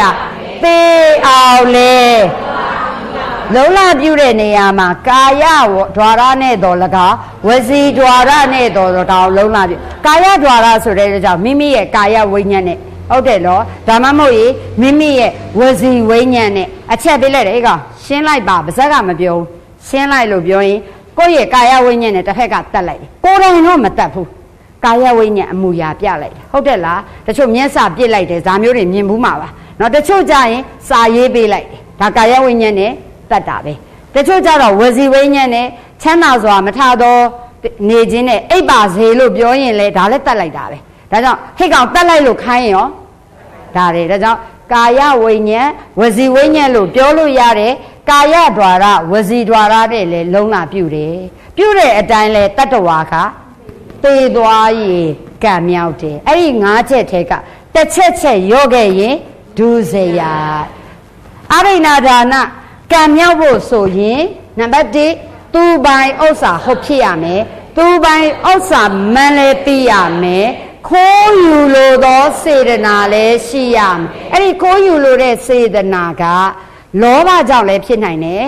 ဒေါသကြောင့်လည်းဖြစ်နိုင်ဟုတ်လားလိုချင်လို့လည်းခိုးတယ်တစ်ဖက်သားပျက်စီးစေခြင်းလို့လည်းခိုးတယ်ခုနကတတ်တာကြတော့သေစေလိုတဲ့စိတ်နဲ့တတ်တယ်ဆိုတော့ဒေါသကြောင့်တတ်တာအဲ့ဒါလေးကကံမြောင်ကြောင်းဟလာဒါလှမ်းမြင်ရမယ်ဟလာနောက်ဆုံးဒါလည်းသေလဲလုံးလပြုတ်ပြီးတော့လေကာယဝိညာဉ်ဝစီဝိညာဉ်နဲ့လဲခိုးတယ်ပေါ့ဟလာလုံးလပြုတ်ပြီးတော့လဲခိုးတယ်ရလဲရသွားတယ်ဆိုရင်တော့ ကံမြောက်တစ်ချက်ချက်ချို့ခဲ့ရင်ဒုစရာကာမေတုမိစ္ဆာစာရဆိုလဲသူတစ်ပါးရဲ့ဟလာတာမယာဇနီးခင်မွန်သားသမီးသားပြိုသမီးပြိုလည်းဖြစ်ရမယ်ဖြစ်မှန်လဲသိနေတယ်ကျူးလွန်လို့သောစေရနာလည်းရှိတယ်ကာယဝိညာဉ်ဝစီဝိညာဉ်တွေနဲ့လည်းတခုခုနဲ့ကျူးလွန်တယ်ဟုတ်တယ်လားနောက်ဆုံးကံလဲမြောက်သွားပြီဆိုရင်အထလဲမြောက်သွားပြီဆိုရင်ကျူးလွန်မိသွားပြီဆိုရင်နော် ကံမြောက်တယ်တကယ်လို့တစ်ခုခုချုပ်ယွင်းသွားရင်နော်ဒုစရိုက်အဲ့တော့ဒီဒုစရိုက်၃ခုစလုံးသည်ပါဏတိပါတအရိဏဒါနကာမိတုမိစ္ဆာစာရတို့သည်ကာယဓွာရဝစီဓွာရနှစ်ပါးလုံးမှာဖြစ်တော်လဲဘယ်မှာအဖြစ်များကာယဓွာရမှာအဖြစ်များတဲ့အတွက်သူ့ကိုဘာကံလို့ခေါ်မလဲ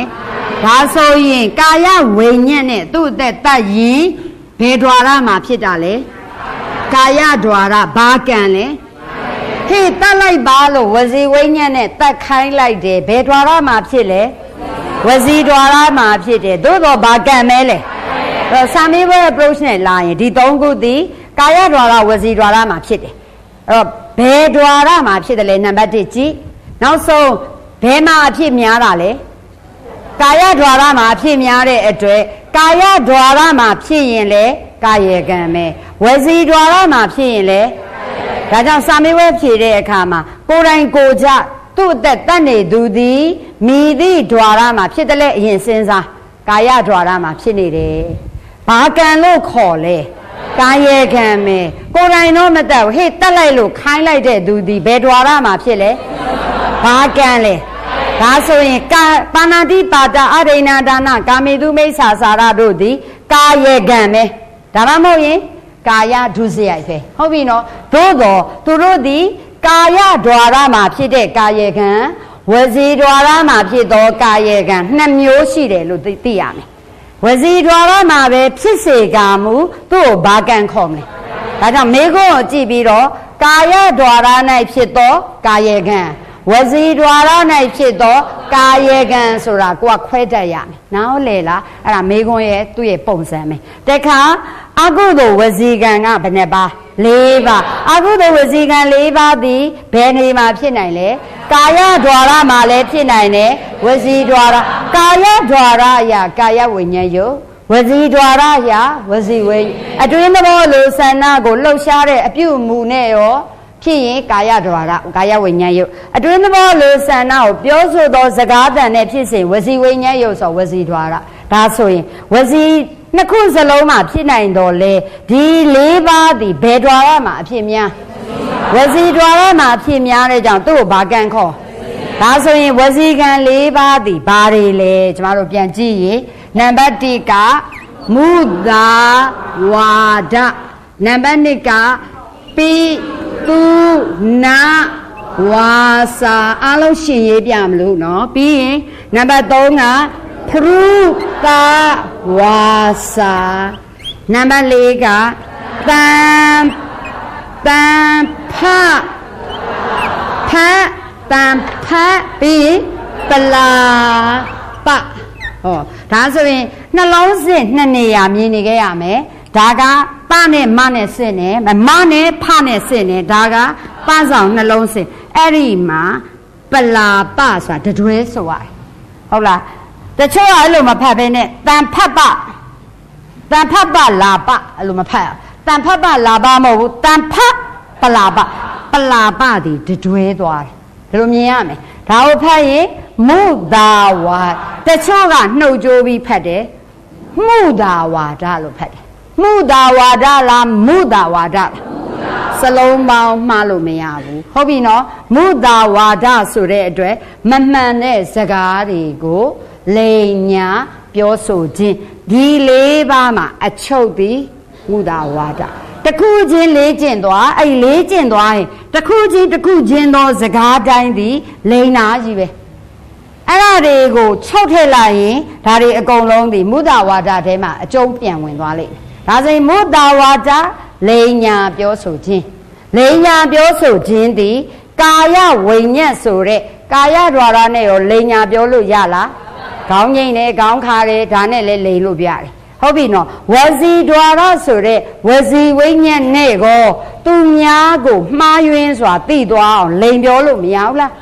ဒါကြောင့်တချို့ပြောလို့ရှိတယ်ရှာမှာအယိုးမှမရှိတာဟုတ်တယ်လေရှာဆိုတာအယိုးမှမရှိတာရှာအယိုးမရှိတာရှောက်ပြောနေတယ်ဆိုတချို့ဒီရှာလေးကိုပဲ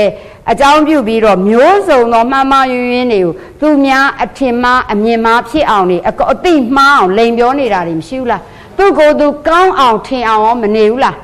နေတယ်ဟုတ်တယ်နော်ကာယဝိညာဉ်နဲ့လိန်ပုံဆိုတချို့ဆိုရင်ဝိပုစင်ကြယ်ကြီးဝိဝိ တချို့ဆိုရင်ရတေကြီးလိုဝိဝိဟုတ်တယ်လားပတိကြီးကြီးဆွဲ၍ရွှေတကုံစေတီတော်တို့ဘာတို့များသွားမယ်ဆိုရင်ဒါမျိုးတွေမြင်ရလားမမြင်ရဘူးကျမတို့လူတွေကလည်းအစမ်းတကျလောက်ပြရင်အထင်ကိုကြီးလားမကြီးဘူးလားဟလာဟိုးရှေးတုန်းကဖယားရှင်လက်ထက်ထဲကဟလာတချို့ဆိုရင်အဝတ်လုံးဝမဝတ်ဘူး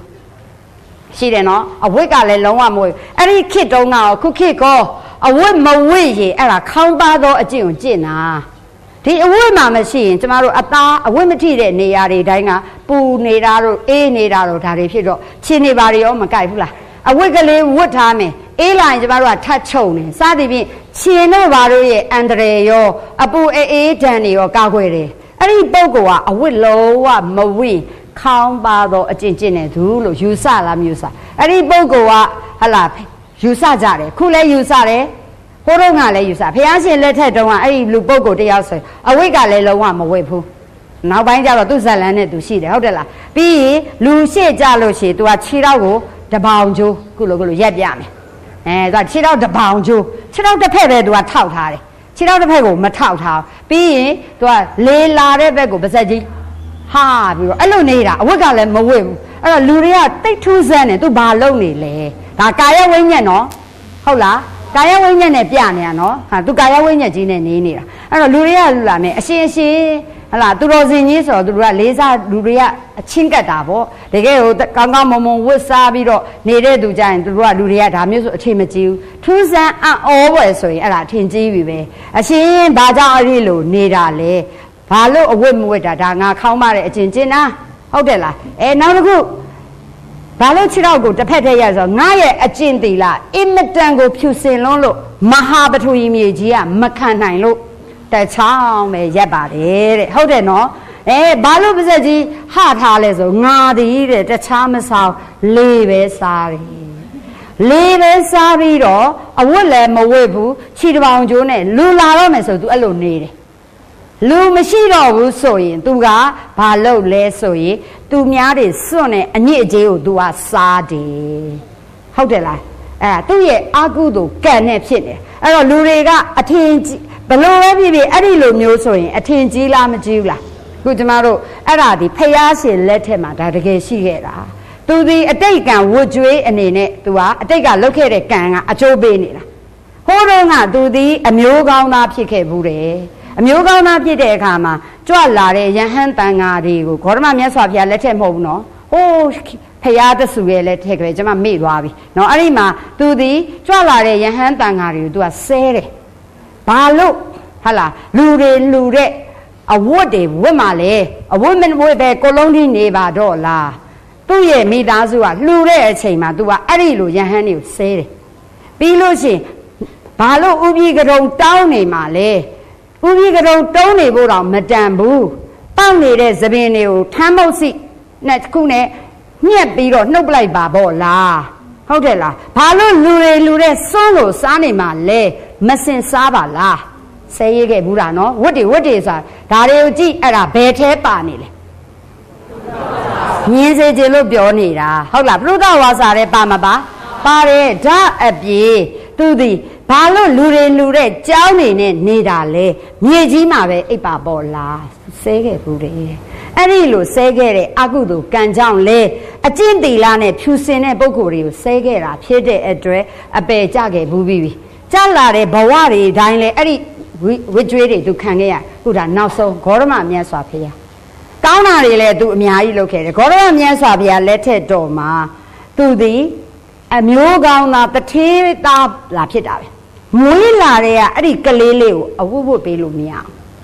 အဝတ်ဝတ်ပေးရင်ချွတ်ပြစ်တယ်ငိုတယ်အဲ့တော့မိဘတွေကငယ်သေးလို့ပဲဆိုပြီးတော့အဝတ်ဝတ်ပေးလို့မရတော့မွေးပေးဘူးပေါ့ပြီးရင်သူ့ကိုထမင်းကျွေးလို့ဘရောမှမရမြို့သေးစကားသူစွန့်နဲ့မစင်ကိုအဲ့ကလေးကစားနေအဲ့တော့ဩဂါငယ်သေးလို့ပဲဆိုကလေးတို့ရဲ့တဘာဝငယ်စားတာပဲဟုတ်လားဟုတ်လား ဟုတ်ငငယ်လေးမိဘကမလုပ်ပေးဘူးဆိုရင်လေတချို့ကလေးလေးတွေမြင်ဘူးမယ်အဲ့တော့အော်မိဘကဒါငယ်သေးလို့ပဲနေမှာတကယ်တော့သူ့မစင်မဲ့သူစားတယ်ဟုတ်ပြီနော်အဲ့ဒီလိုနဲ့အရွယ်ရောက်လာတော့တထေးကြီးမှာမျိုးဆက်ဆိုလို့သူတယောက်ပဲရှိတာကြီးလာရင်ပြင်မလားဆိုလူပြိုအရွယ်ဖြစ်လာလေသူအဝတ်ဝတ်မဝတ်ဘူးဘာမှကျွေးလို့လဲမရဘူးမစင်မဲစားတယ် အဲ့ဒီတော့မဖြစ်ချေဘူးငါတို့ရဲ့ဂုံတရင်တော့ညှိုးမိန်တော့မယ်အဝတ်မဝတ်တော့အဝတ်မဝတ်တဲ့လူတွေစီသွားပို့ရင်တော့အတော်ပဲဆိုတော့အဝတ်မဝတ်တဲ့ဒိဋ္ဌိတွေရောရှိလားမရှိဘူးလားရှိကြတော့အဝတ်မဝတ်တဲ့အကြောင်းကိုသွားပုတ်လိုက်တာပေါ့ဟုတ်လားတနည်းအားဖြင့်ပြောရင်အဲ့ဒါဒိဋ္ဌိတွေအကြောင်းပေါ့တကတွန်းတို့ဘာလို့ဒိဋ္ဌိတွေအကြောင်းပုတ်လိုက်တော့ဒိဋ္ဌိတွေကလည်းသူ့ဆိုလက်ခံတဲ့ပေါ့ဘာလို့လဲတထေးသားကိုတထေးသားဆိုလက်ခံတယ်ဒါပေမဲ့အဲ့ဒီဒိဋ္ဌိတွေကသူတို့မှာသူတို့လည်းသပင်မထားဘူး သူတို့ရဲ့သပင်ကိုကျမတို့ခုလိုဓာတ်တို့ဘာတို့နဲ့တုံးတာမဟုတ်ဘူးလူတကိုးစားရှိတဲ့ကျင်းတူးရတယ်အဲ့ဒီကျင်းထဲမှာအဲ့ဒီသပင်ပယ်မဲ့သူကနေရအဲ့ကလေးကခုနကသပင်ရှိတယ်နော်ကရုံတုံးထားတာမဟုတ်အဲ့ဒီကျင်းထဲမှာနေပြီးအဲ့ဒီကျင်းရဲ့ဟိုဘက်ဒီပဲနှကန်းမှာဟာလာဒုတ်တန်းလေးနှစ်ခုရှိတယ်အဲ့ဒီတန်းပေါ်မှာဟာလာလူကထိုင်ရတယ်နှုတ်ပေးမဲ့သူကထိုင်ရတယ်ပြီးရင်အဲ့ဒီတန်းပေါ်ကနေထိုင်ပြီးတော့ဘာလုပ်ကြလဲဆိုရင်ထမ်းမုတ်စီ ဟလာထမ်းပင်ရဲ့ထမ်းသီးရဲ့အစီပေါ့မာမာကြီးအဲ့ဒီနှစ်ခုနဲ့ညှက်ပြီးဆိုခိုးတော့ဇာကနာမရှိလို့လေဇာကနာလိုပဲတချောင်းကြီးကိုဆွဆွနှုတ်ရတယ်အဲ့ဒါတိဋ္ဌိတွေရဲ့ဟလာဇံပယ်ပုံပဲတချို့ဘိက္ခုနီမတွေလည်းအဲ့ဒီလိုပဲတချို့ဘိက္ခုနီမဖြစ်ခင်အဲ့ဒီလိုမျိုးသူတို့ရဲ့သာသနာ့ဘောင်ဝင်သွားရင်အဲ့ဒီပုံစံလောက်ရတယ်သူတို့ရဲ့ဟာတော့အဲ့ဒီနီးနဲ့ तू ကသပင်ကိုနှုတ်ရဆိုဘလောက်နာမလဲ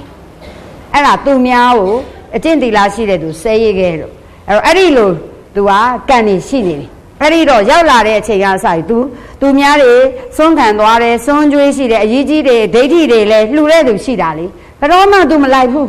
ငါမစားဘူးငါမလိုက်ဘူးအဲဆိုစားနေမှာမကိစ္စမရှိဘူးငါအတွက်အစာပြီးနေပြီကိစ္စပြီးနေပြီဟုတ်လားငါအတွက်အစာဒီမှာပဲရပြီးသား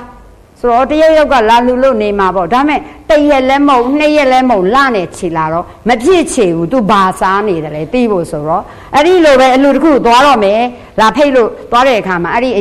ဒိဋ္ဌိတွေကသူတို့တပည့်နှစ်ယောက်ထားခဲ့တယ်တ သူ့ကိုစောင့်ကြည့်ဆိုတော့ तू အားလုံးသွားပြီလားဆိုသွားပြီဆိုတာသိတော့မှ तू က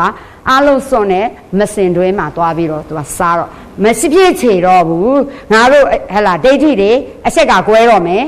ဟဲ့လားမစင်စားတဲ့ဒိဋ္ဌိတွေလို့ပြောမှဆိုရကြသူ့ကိုကြောင်းကနေနှင်ထုတ်လိုက်တာနှင်ထုတ်လိုက်တဲ့အချိန်ကျတော့ तू ကဘာလုပ်ရမလဲ तू လက်ဒီတိုင်းနေလို့မရတော့ तू ကဘာလုပ်လဲဆိုလူတကာမျိုးသူမျိုးသားတွေအဲ့ဒီအဲ့ဒီမှာရှိတဲ့လူတွေလာလာပြီးတော့မစေအညစ်ကြေးစွန့်တဲ့ဂျောက်တောင်ကပင်ရန်ကြီးရှိတယ်အဲ့ဒီရဲ့ဂျောက်ကြီးနားမှာ तू ကနေတော့တယ်သူ့အတွက်အစာအမြဲတမ်းရှိနေလားမရှိနေအဲလူလာပြီဆိုရင် तू ခုနပုံစံနဲ့ ခြေတပေါင်ကျိုးစာ तू ထွင်လိုက်တာလေပါဇက်ဟာတာဆိုထွင်ထားတာအဲ့ဒီတော့လူတွေကထူးဆန်းတဲ့အရှင်ကြီးပဲဆိုကိုးကွယ်လားမကိုးကွယ်ဘူးလားကိုးကွယ်သဘောကိုးကွယ်တော့လာတဲ့အချိန်ကျရင်အရှင်ဟလာသူတို့ကိုချီးမြှောက်တဲ့အနေနဲ့အဝတ်တွေယူပါဆိုငါအဝတ်မကင်ဘူးငါအဝတ်မဝတ်ဘူးမဝတ်လေးလေးချီးမြှောက်တဲ့အနေနဲ့ကျွန်တော်တို့လည်းလှုပ်တတ်တယ်မှတ်လားချီးမြှောက်တဲ့အနေနဲ့ခဏလေးဖြစ်ဖြစ်ဝတ်ပါပြီးတော့ပြန်ယူပါမယ်ဆိုတော့လူတွေကြိုက်အောင်ခဏလောက်ဝတ်လိုက်သူခဏကွာခံမမခံနိုင်တာသူကဘာဖြစ်လဲပယ်ဖြစ်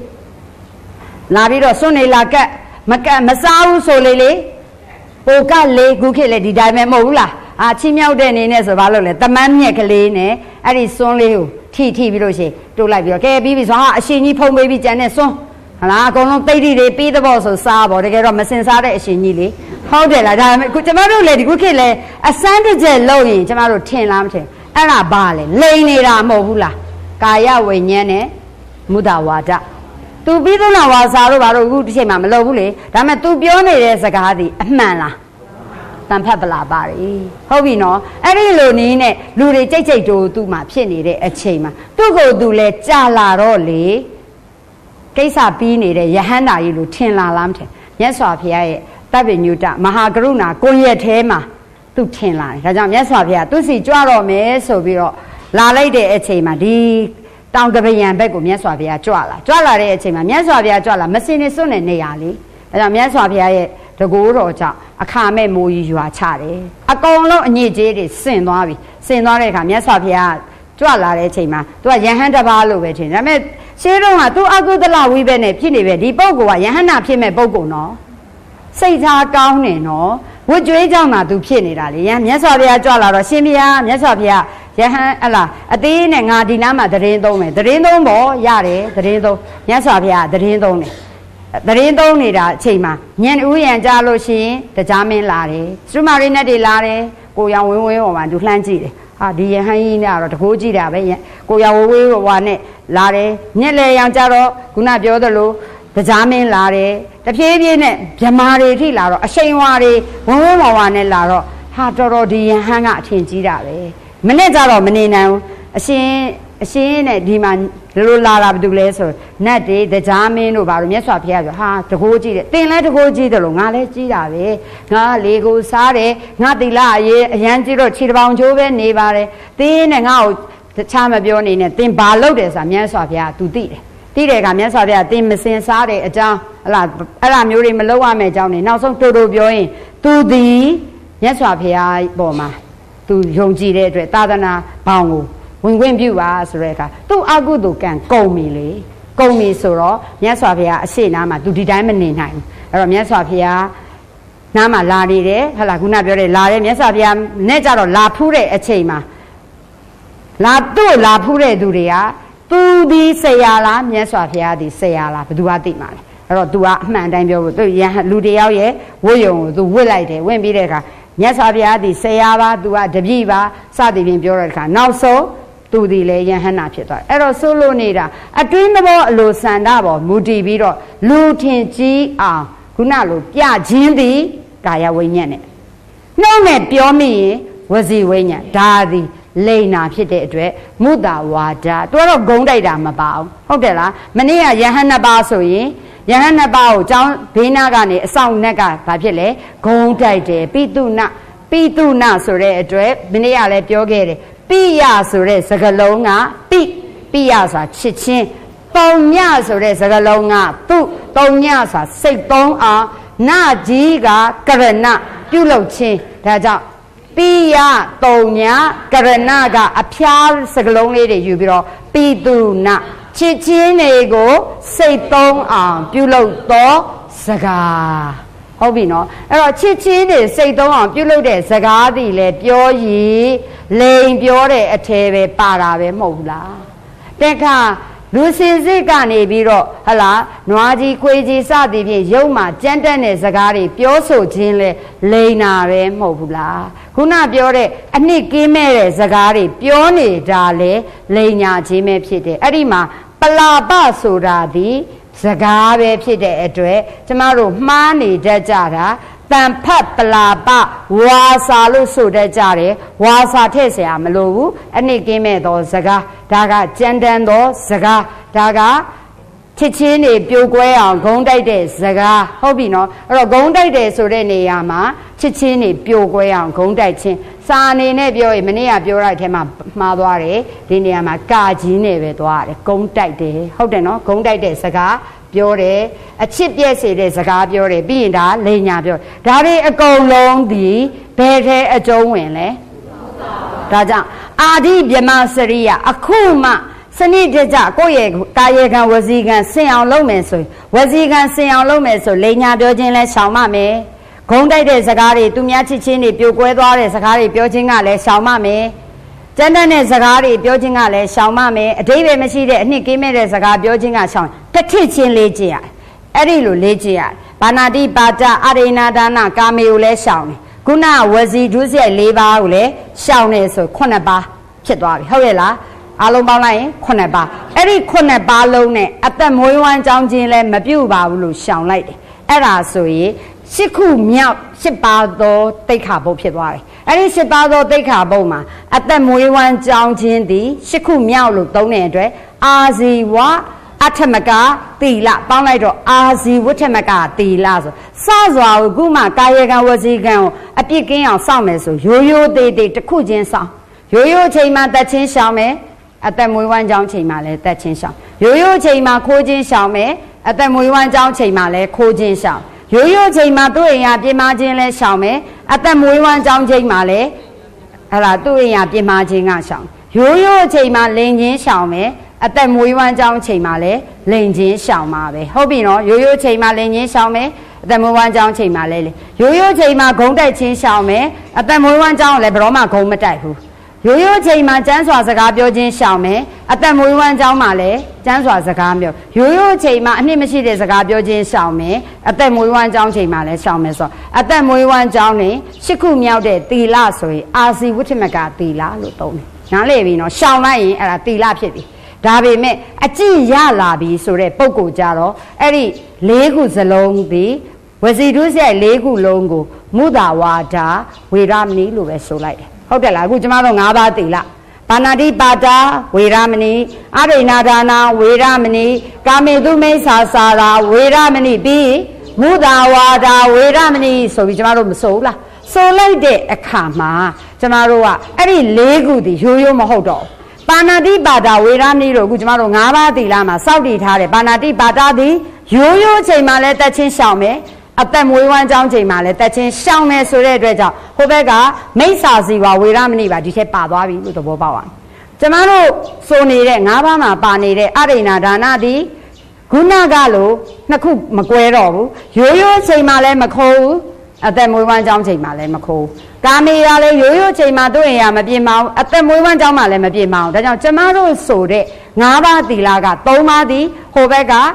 တမ္မာကမ္မန္တလို့ပြောလို့ရမယ်နောက်ပိုင်းရောတမ္မာအာဇီဝနှစ်ခုပါနေပြီလို့သဘောပေါက်ပြီးရင်ကျမတို့ခုဆိုလိုက်တဲ့မုဒါဝါဒဝေရမဏိတိခါပရံတမာရိယာမိလို့ဆိုထားရင်လိန်လည်းမပြောရဘူးဂုံးတိုက်တာလည်းမပါရဘူးကြမ်းတမ်းတာလည်းမပါရဘူးတန်ဖက်ပလာပါလည်းမပါရဘူးရိုးရိုးချိန်ရောအတန်မွေးဝမ်းကြောင်းချိန်ရောသဘောပေါက်ဒါဆိုရင်ကျမတို့အခုစောက်တည်ထားတဲ့၅ပါးက၄ပါးသည်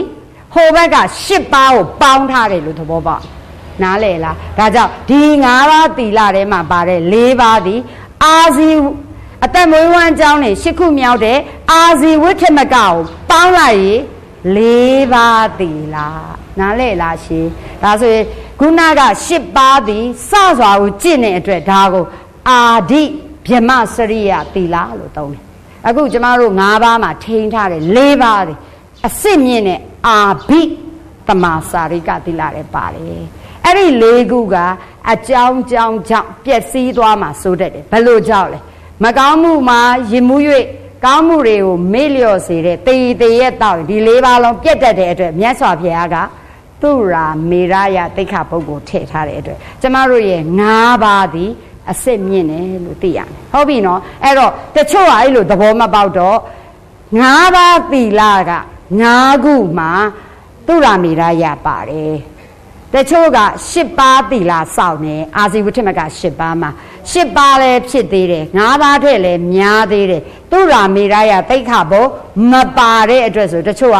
အာဇီဝဋ္ဌမကသီလကိုပဲထိန်းကြတယ်ထိန်းလို့ရောမရဘူးလားရတယ်သို့တော့သူဒီအစ်စ်မြင့်လားနှိမ့်လား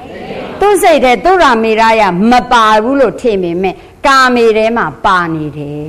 ဒါဆိုဒီဘက်၅ပါးသီလကြတော့ကာမေအပြင်ဘာလို့ထည့်သလဲဆိုရင်ဒါကဒီတေတရဲ့ကိုခုနလိုကာမဂုဏ်ကိုမှားမှားယွင်းယွင်းအနေနဲ့တောက်တာတွေမကောက်ဒီတောက်လိုက်တာနဲ့သူ့အသက်လည်းတတ်မိတတ်တယ်ဒီရေတောက်လိုက်တာနဲ့ခိုးမှုတာတွေခိုးမိတော့မယ်ဒီရေတောက်လိုက်တဲ့အတွက်ရောမယိုသေးစကားကိုမိဘအမေတော်မှအဖေတော်မှမှားတတ်တယ် ဟုတ်လားမဟုတ်ဘူးလားကိုညင်မတွေဘာတွေလဲမှားတတ်ဒီရေတောက်လိုက်တဲ့အတွက်ကျမတို့ခုနမုဒဝါဒတွေဘာတွေအကုန်ဖြစ်မဖြစ်ဒါကြောင့်မြတ်စွာဘုရားချုပ်နေနဲ့ဒီသူရာမိရာယထဲတယ်သဘောပေါက်ရမယ်ဒါဆိုရင်ကျမတို့ဓမ္မမိတ်ဆွေတို့ခုပြောသွားတဲ့ဝစီဒုစရိုက်ဒါဒီ၄ပါး၄ပါးကိုကြည့်ရင်မှုသားစကားပြောခြင်းမုဒဝါဒဂုံးတိုက်ခါမိတ်ခွဲခြင်းမုဒဝါဒ ဝိပိတုနာဝါစာကျမ်းစောစကားပြောဆိုခြင်းဖရုတဝါစာအနှစ်ကင်းမဲ့သောစကားပြောဆိုခြင်းဒီလေးပါတို့သည်ကာယဓွာရာဝစီဓွာရာနှစ်ပါးလုံး၌ဖြစ်တယ်ဘယ်မှာအဖြစ်မြာဒါကြောင့်ဘာကံခေါ်ဝစီကံလို့ခေါ်တယ်ဒါလေးမြင်ခဲ့ရမယ်ပြီးရင်မနောဒုစရိုက်၃ပါး မနောဒုစရိုက်၃ပါးကိုကြည့်မယ်ဆိုရင်တကယ်တမ်းဖြစ်တာကတော့ကာယဓာရရောဝစီဓာရရောသူကမနောဓာရရော၃ခုလုံးဖြစ်တော်လဲဘယ်မှာအဖြစ်များဒါကြောင့်သူ့ကြရင်စလုံးမောင်းလေးသတိထားရမယ်အဘိစာအဘောကစာခွဲအောက်ကဇာမြင်ဆွဲနော်တချို့အကောင်စာလုံးရပင်းတဲ့စာလုံးရပင်းမဟုတ်ဘူး ဇာခွဲအောက်ကဇာမြင်အဘိစာသူပိုင်ဥစ္စာညွတ်ချင်းပြီးရင်ဗျာပါဒအသေးတောင်းတခြင်းဟုတ်ပြီနော်ဗျာပါဒနော်တချို့ကဘာနဲ့ရောလဲဗျာပါရလို့ဆိုတတ်တယ်ဗျာပါရမဟုတ်ဘူးဗျာပါဒအသေးတောင်းတခြင်းပြီးရင်အယူမှားခြင်း မိစ္ဆာဒိဋ္ဌိဒီတရားသုံးခုတို့သည်ဘယ်မှာဘယ် द्वार တွေမှာဖြစ်ကာယရောဝစီရောမနောရောမှာဖြစ်တယ်ဘယ်မှာဖြစ်များမနောပါအဖြစ်များသလိုမနောဒွါရမှာဖြစ်ယုံမြဖြစ် ကံမြောက်သည်သဘောပေါက်ရမယ်ဟုတ်ပြီနော်ဒါလေးမြင်ရမယ်အဲ့တော့ကံမြောက်ကြောင်းတရားတွေလည်းမနေ့ကပြောခဲ့ပြီးပြီဒီဆောင်းနေပဲကြည်ကြဆိုမရေးတော့ဘူးနှခမ်းလေးပဲတတ်တော့မယ်ဘာလို့ဒီနေ့ဒါတွေပြန်ပြောလဲဆိုတော့ချုံပြီးမြင်စေခြင်းစာမျက်နှာဓမ္မမိတ်ဆွေများရှင်းဆက်နဲ့နှစ်ကိုနှစ်မှာပါတဲ့အာဟုသို့ကံဆိုတာမြင်သလားအိမ်ကြရင်ပြန်ကြည့်ခဲ့ပေးပါအာဟုသို့ကံမှာအာဟုနံပါတ်ကကြီးရေးထားတယ် ကံဖြစ်ရာကာယဒွါရဝစီဒွါရမနောဒွါရဒီဟုသော လိုက်တားစေခြင်းနဲ့ကမ္မဒွါရအစွမ်းအားဖြင့်စာမေဝမေကိုမေးလို့ရတယ်အကုသိုလ်ကံသည်ကမ္မဒွါရအစွမ်းအားဖြင့်ဘယ်နှပါပြားတယ်လဲသုံးပါးပြားတယ်လို့ဖြေရမယ်ဘာတွေဘလို့ပြားတယ်လဲကာယကံဝစီကံကံဖြစ်ရာကမ္မဒွါရဘယ်နှပါရှိလဲ သုံးပါးဘယ် द्वार တွေလဲကာယ द्वार ကမ္မ द्वार သုံးပါးမှာကမ္မ द्वार ၏အစွမ်းအားဖြင့်အကုသိုလ်ကံသည်ဘယ်နှပါးပြားလဲအဲ့ဒီမှာကာယ द्वार မှာအဖြစ်များရင်အောက်မှာလည်းရေးပေးထားတယ်ဝစီ द्वार မှာအဖြစ်များရင်မနော द्वार မှာအဖြစ်များရင်ဒါမြင်ခဲ့ရမယ်အဲ့ဒီမှာမှ ကာယကံအကုသိုလ်ဘယ်နှပါဘုံမှာဘာတွေလဲပါဏာတိပါချာအဒိနာဌာနာကာမေတုမေသူတို့သည်ဘယ် द्वार တွေမှာဖြစ်တယ်လဲ ဘယ်မှာအဖြစ်များဒါကြောင့်ဘာကံခေါ်ဒါမှမဟုတ်ကာယဒုစရိုက်သုံးပါအဲ့ဒါနဲ့ပတ်သက်ပြီးတော့သူ့သက်တတ်တာသူ့ဥစာခိုးတာသူ့အရာပြစ်မှားတာသည်ကာယကံသုံးပါမဟုတ်ဘူးလား အဲ့ဒါနဲ့ပတ်သက်ပြီးတော့စာမျက်နှာ86ကိုတစ်ချက်လှမ်းကြည့်ရစောင်းပုတ်ကလေးရေးပေးထားတယ်အိမ်ကြရင်ပြန်ကြည့်လိုက်ဟုတ်ပြီနော်ကာယကံ၃ခုကိုပြောပါသက်သက်ခိုးမှုကာမေတုသုံးခုကာယေဒါကြောင့်ကာယကံအကုသိုလ်ဘယ်နှပါကာယကံဒုစရိုက်ကာယဒုစရိုက်သုံးပါတက်တက်ဆိုတော့ပါဏာတိပါဒခိုးမှုဆိုတော့ကာမေတုဆိုတော့ အောက်ကိုပဲဆင်းလိုက်ကြမယ်လိမ့်လေဂုံချောနှုတ်ကြမ်းပြောဖြင်းပြောဝဲစီလိမ့်လေတာကဂုံချောတာကနှုတ်ကြမ်းပြောတာကချင်းပြောတာကပေါင်းလိုက်ရင်ဝစီကံဘယ်နှပါလေးလို့ကိုယ့်အကိုတို့ထားလိုက်နောက်အခုဆင်းမယ်သူဟာရလို့သေးစေလို့ည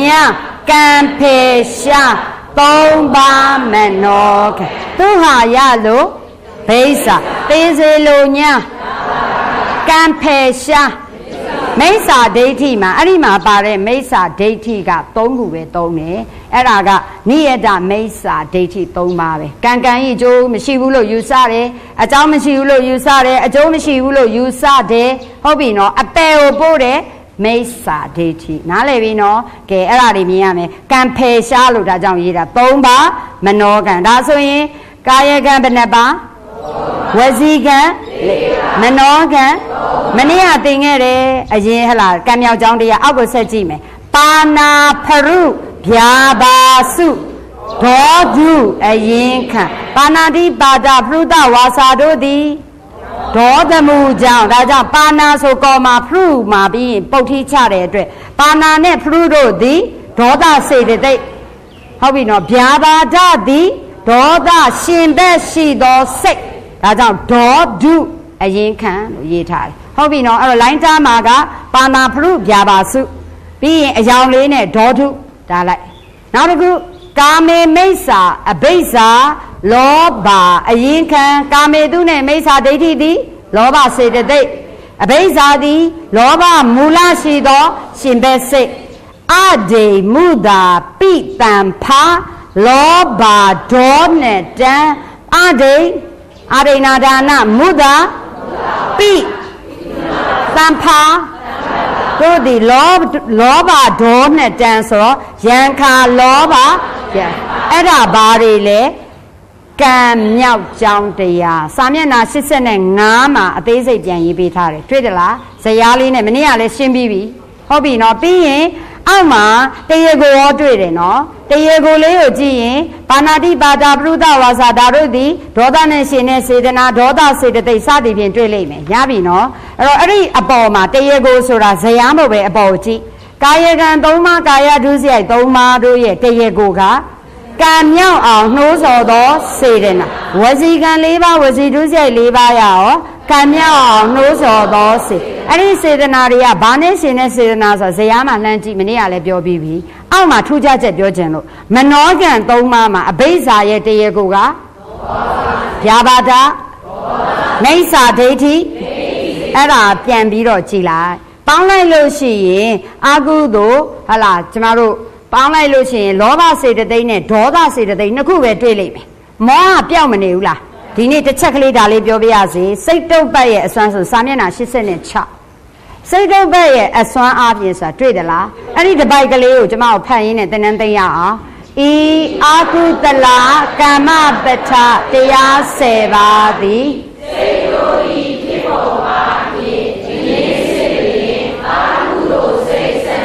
လိုင်းတားခဲ့ရမှာအာကုသိုလ်စိတ်12ပါးကာကုတလကမ္မပဋ္ဌတရား10ပါးကာယဒုစရိုက်3ပါးဝစီဒုစရိုက်4ပါးမနောဒုစရိုက်3ပါးစိတ်နဲ့ပြောရင်ခုနပြောတာကလောဘတွေဒေါသတွေစေတသိက်တွေပဲနော်စိတ်နဲ့ပြောရင်ဗါတဲ့လေအာကုသိုလ်စိတ်12ပါးပင်ဒီမြင်းဆောင်လေးဖြတ်ဆက်ဖတ်မယ်အာကုသိုလ်စိတ်12ပါးသည်ပင်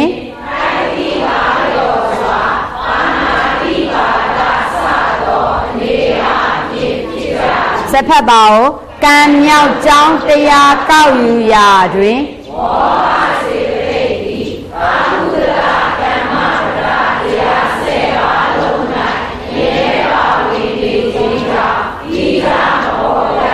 ခုပြောတာပါဏာတိပါဒပရုဒဝါစာတို့သည်ဒေါသမူအကြောင်းဖြစ်ကာမေတုမိစ္ဆာသာတို့သည်လောဘမူအကြောင်းဖြစ်ပြီးအရိဏဒါနယံခလောဘယံခဒေါသမောဟပြောက်မနေဘူးလားဒါပေမဲ့ဓမ္မမိတ်ဆွေများ မတိလို့တတ်တာလားသိရနဲ့တတ်တာလားမတိကြလို့အပြစ်တွေဘယ်လိုဖြစ်မဲ့ဆိုတာမတိကြလို့ခုအသက်မွေးဝမ်းကြောင်းတွေမှာရောတတ်မနေဘူးလားတယောက်နဲ့တယောက်နောင်ဘဝအဆက်ဆက်တတ်နေတာသိလို့လားမသိလို့ဒါကြောင့်တတ်တဲ့ဒိုင်းမှာမောဟအမြဲပါလားမပါဘူးဓမ္မမိတ်ဆွေတို့ပကိန်းပိုင်းသင်ခဲ့ပြီမောဟစေတသိက်သည်လောဘမှုစိတ်မှာရောမရှင်ဘူးလားဒေါသမှုစိတ်မှာရောသူ့ကြီးတက်တက်ရော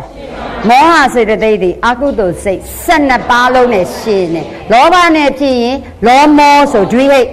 ဒေါသမှုစိတ်ဖြစ်ရင်ဒေါမောဆိုဒွိဟိတ်သူ့ကြီးတက်တက်ကောဧကေဟိတ်ဒါကြောင့်အဲ့ဒီမှာစာမေးပွဲအမေခွန်းမေးနိုင်တာပေါ့မောဟစေတသိက်သည်ဆိုတာလိုင်းထားထားရပြီနော်ကံမြောက်ကြောင်းတရားကောက်ယူတဲ့အခါမှာမောဟမပါပေမဲ့မောဟဒီအလုံးထဲမှာပါတဲ့အတွက်ကြောင့်မကောက်ထားတာလို့သဘောပေါက်လိုက်ပါနားလည်ပြီဒါဆိုရင် မောဟပါရင်မောဟစေတသိက်သည်အာဟုသောစိတ်12ပါးလုံးမှာရှင်နေဟုတ်ရဲ့လားလောဘစေတသိက်သည်ဒေါသစေတသိက်သည်ဒေါသမှုစိတ်နဲ့ပါဆိုတော့မောဟသည်လောမရောဒေါမရောမောမရောပါတယ်လို့သဘောပေါက်လိုက်ကဲဒီနေ့တော်ရအောင်ပါ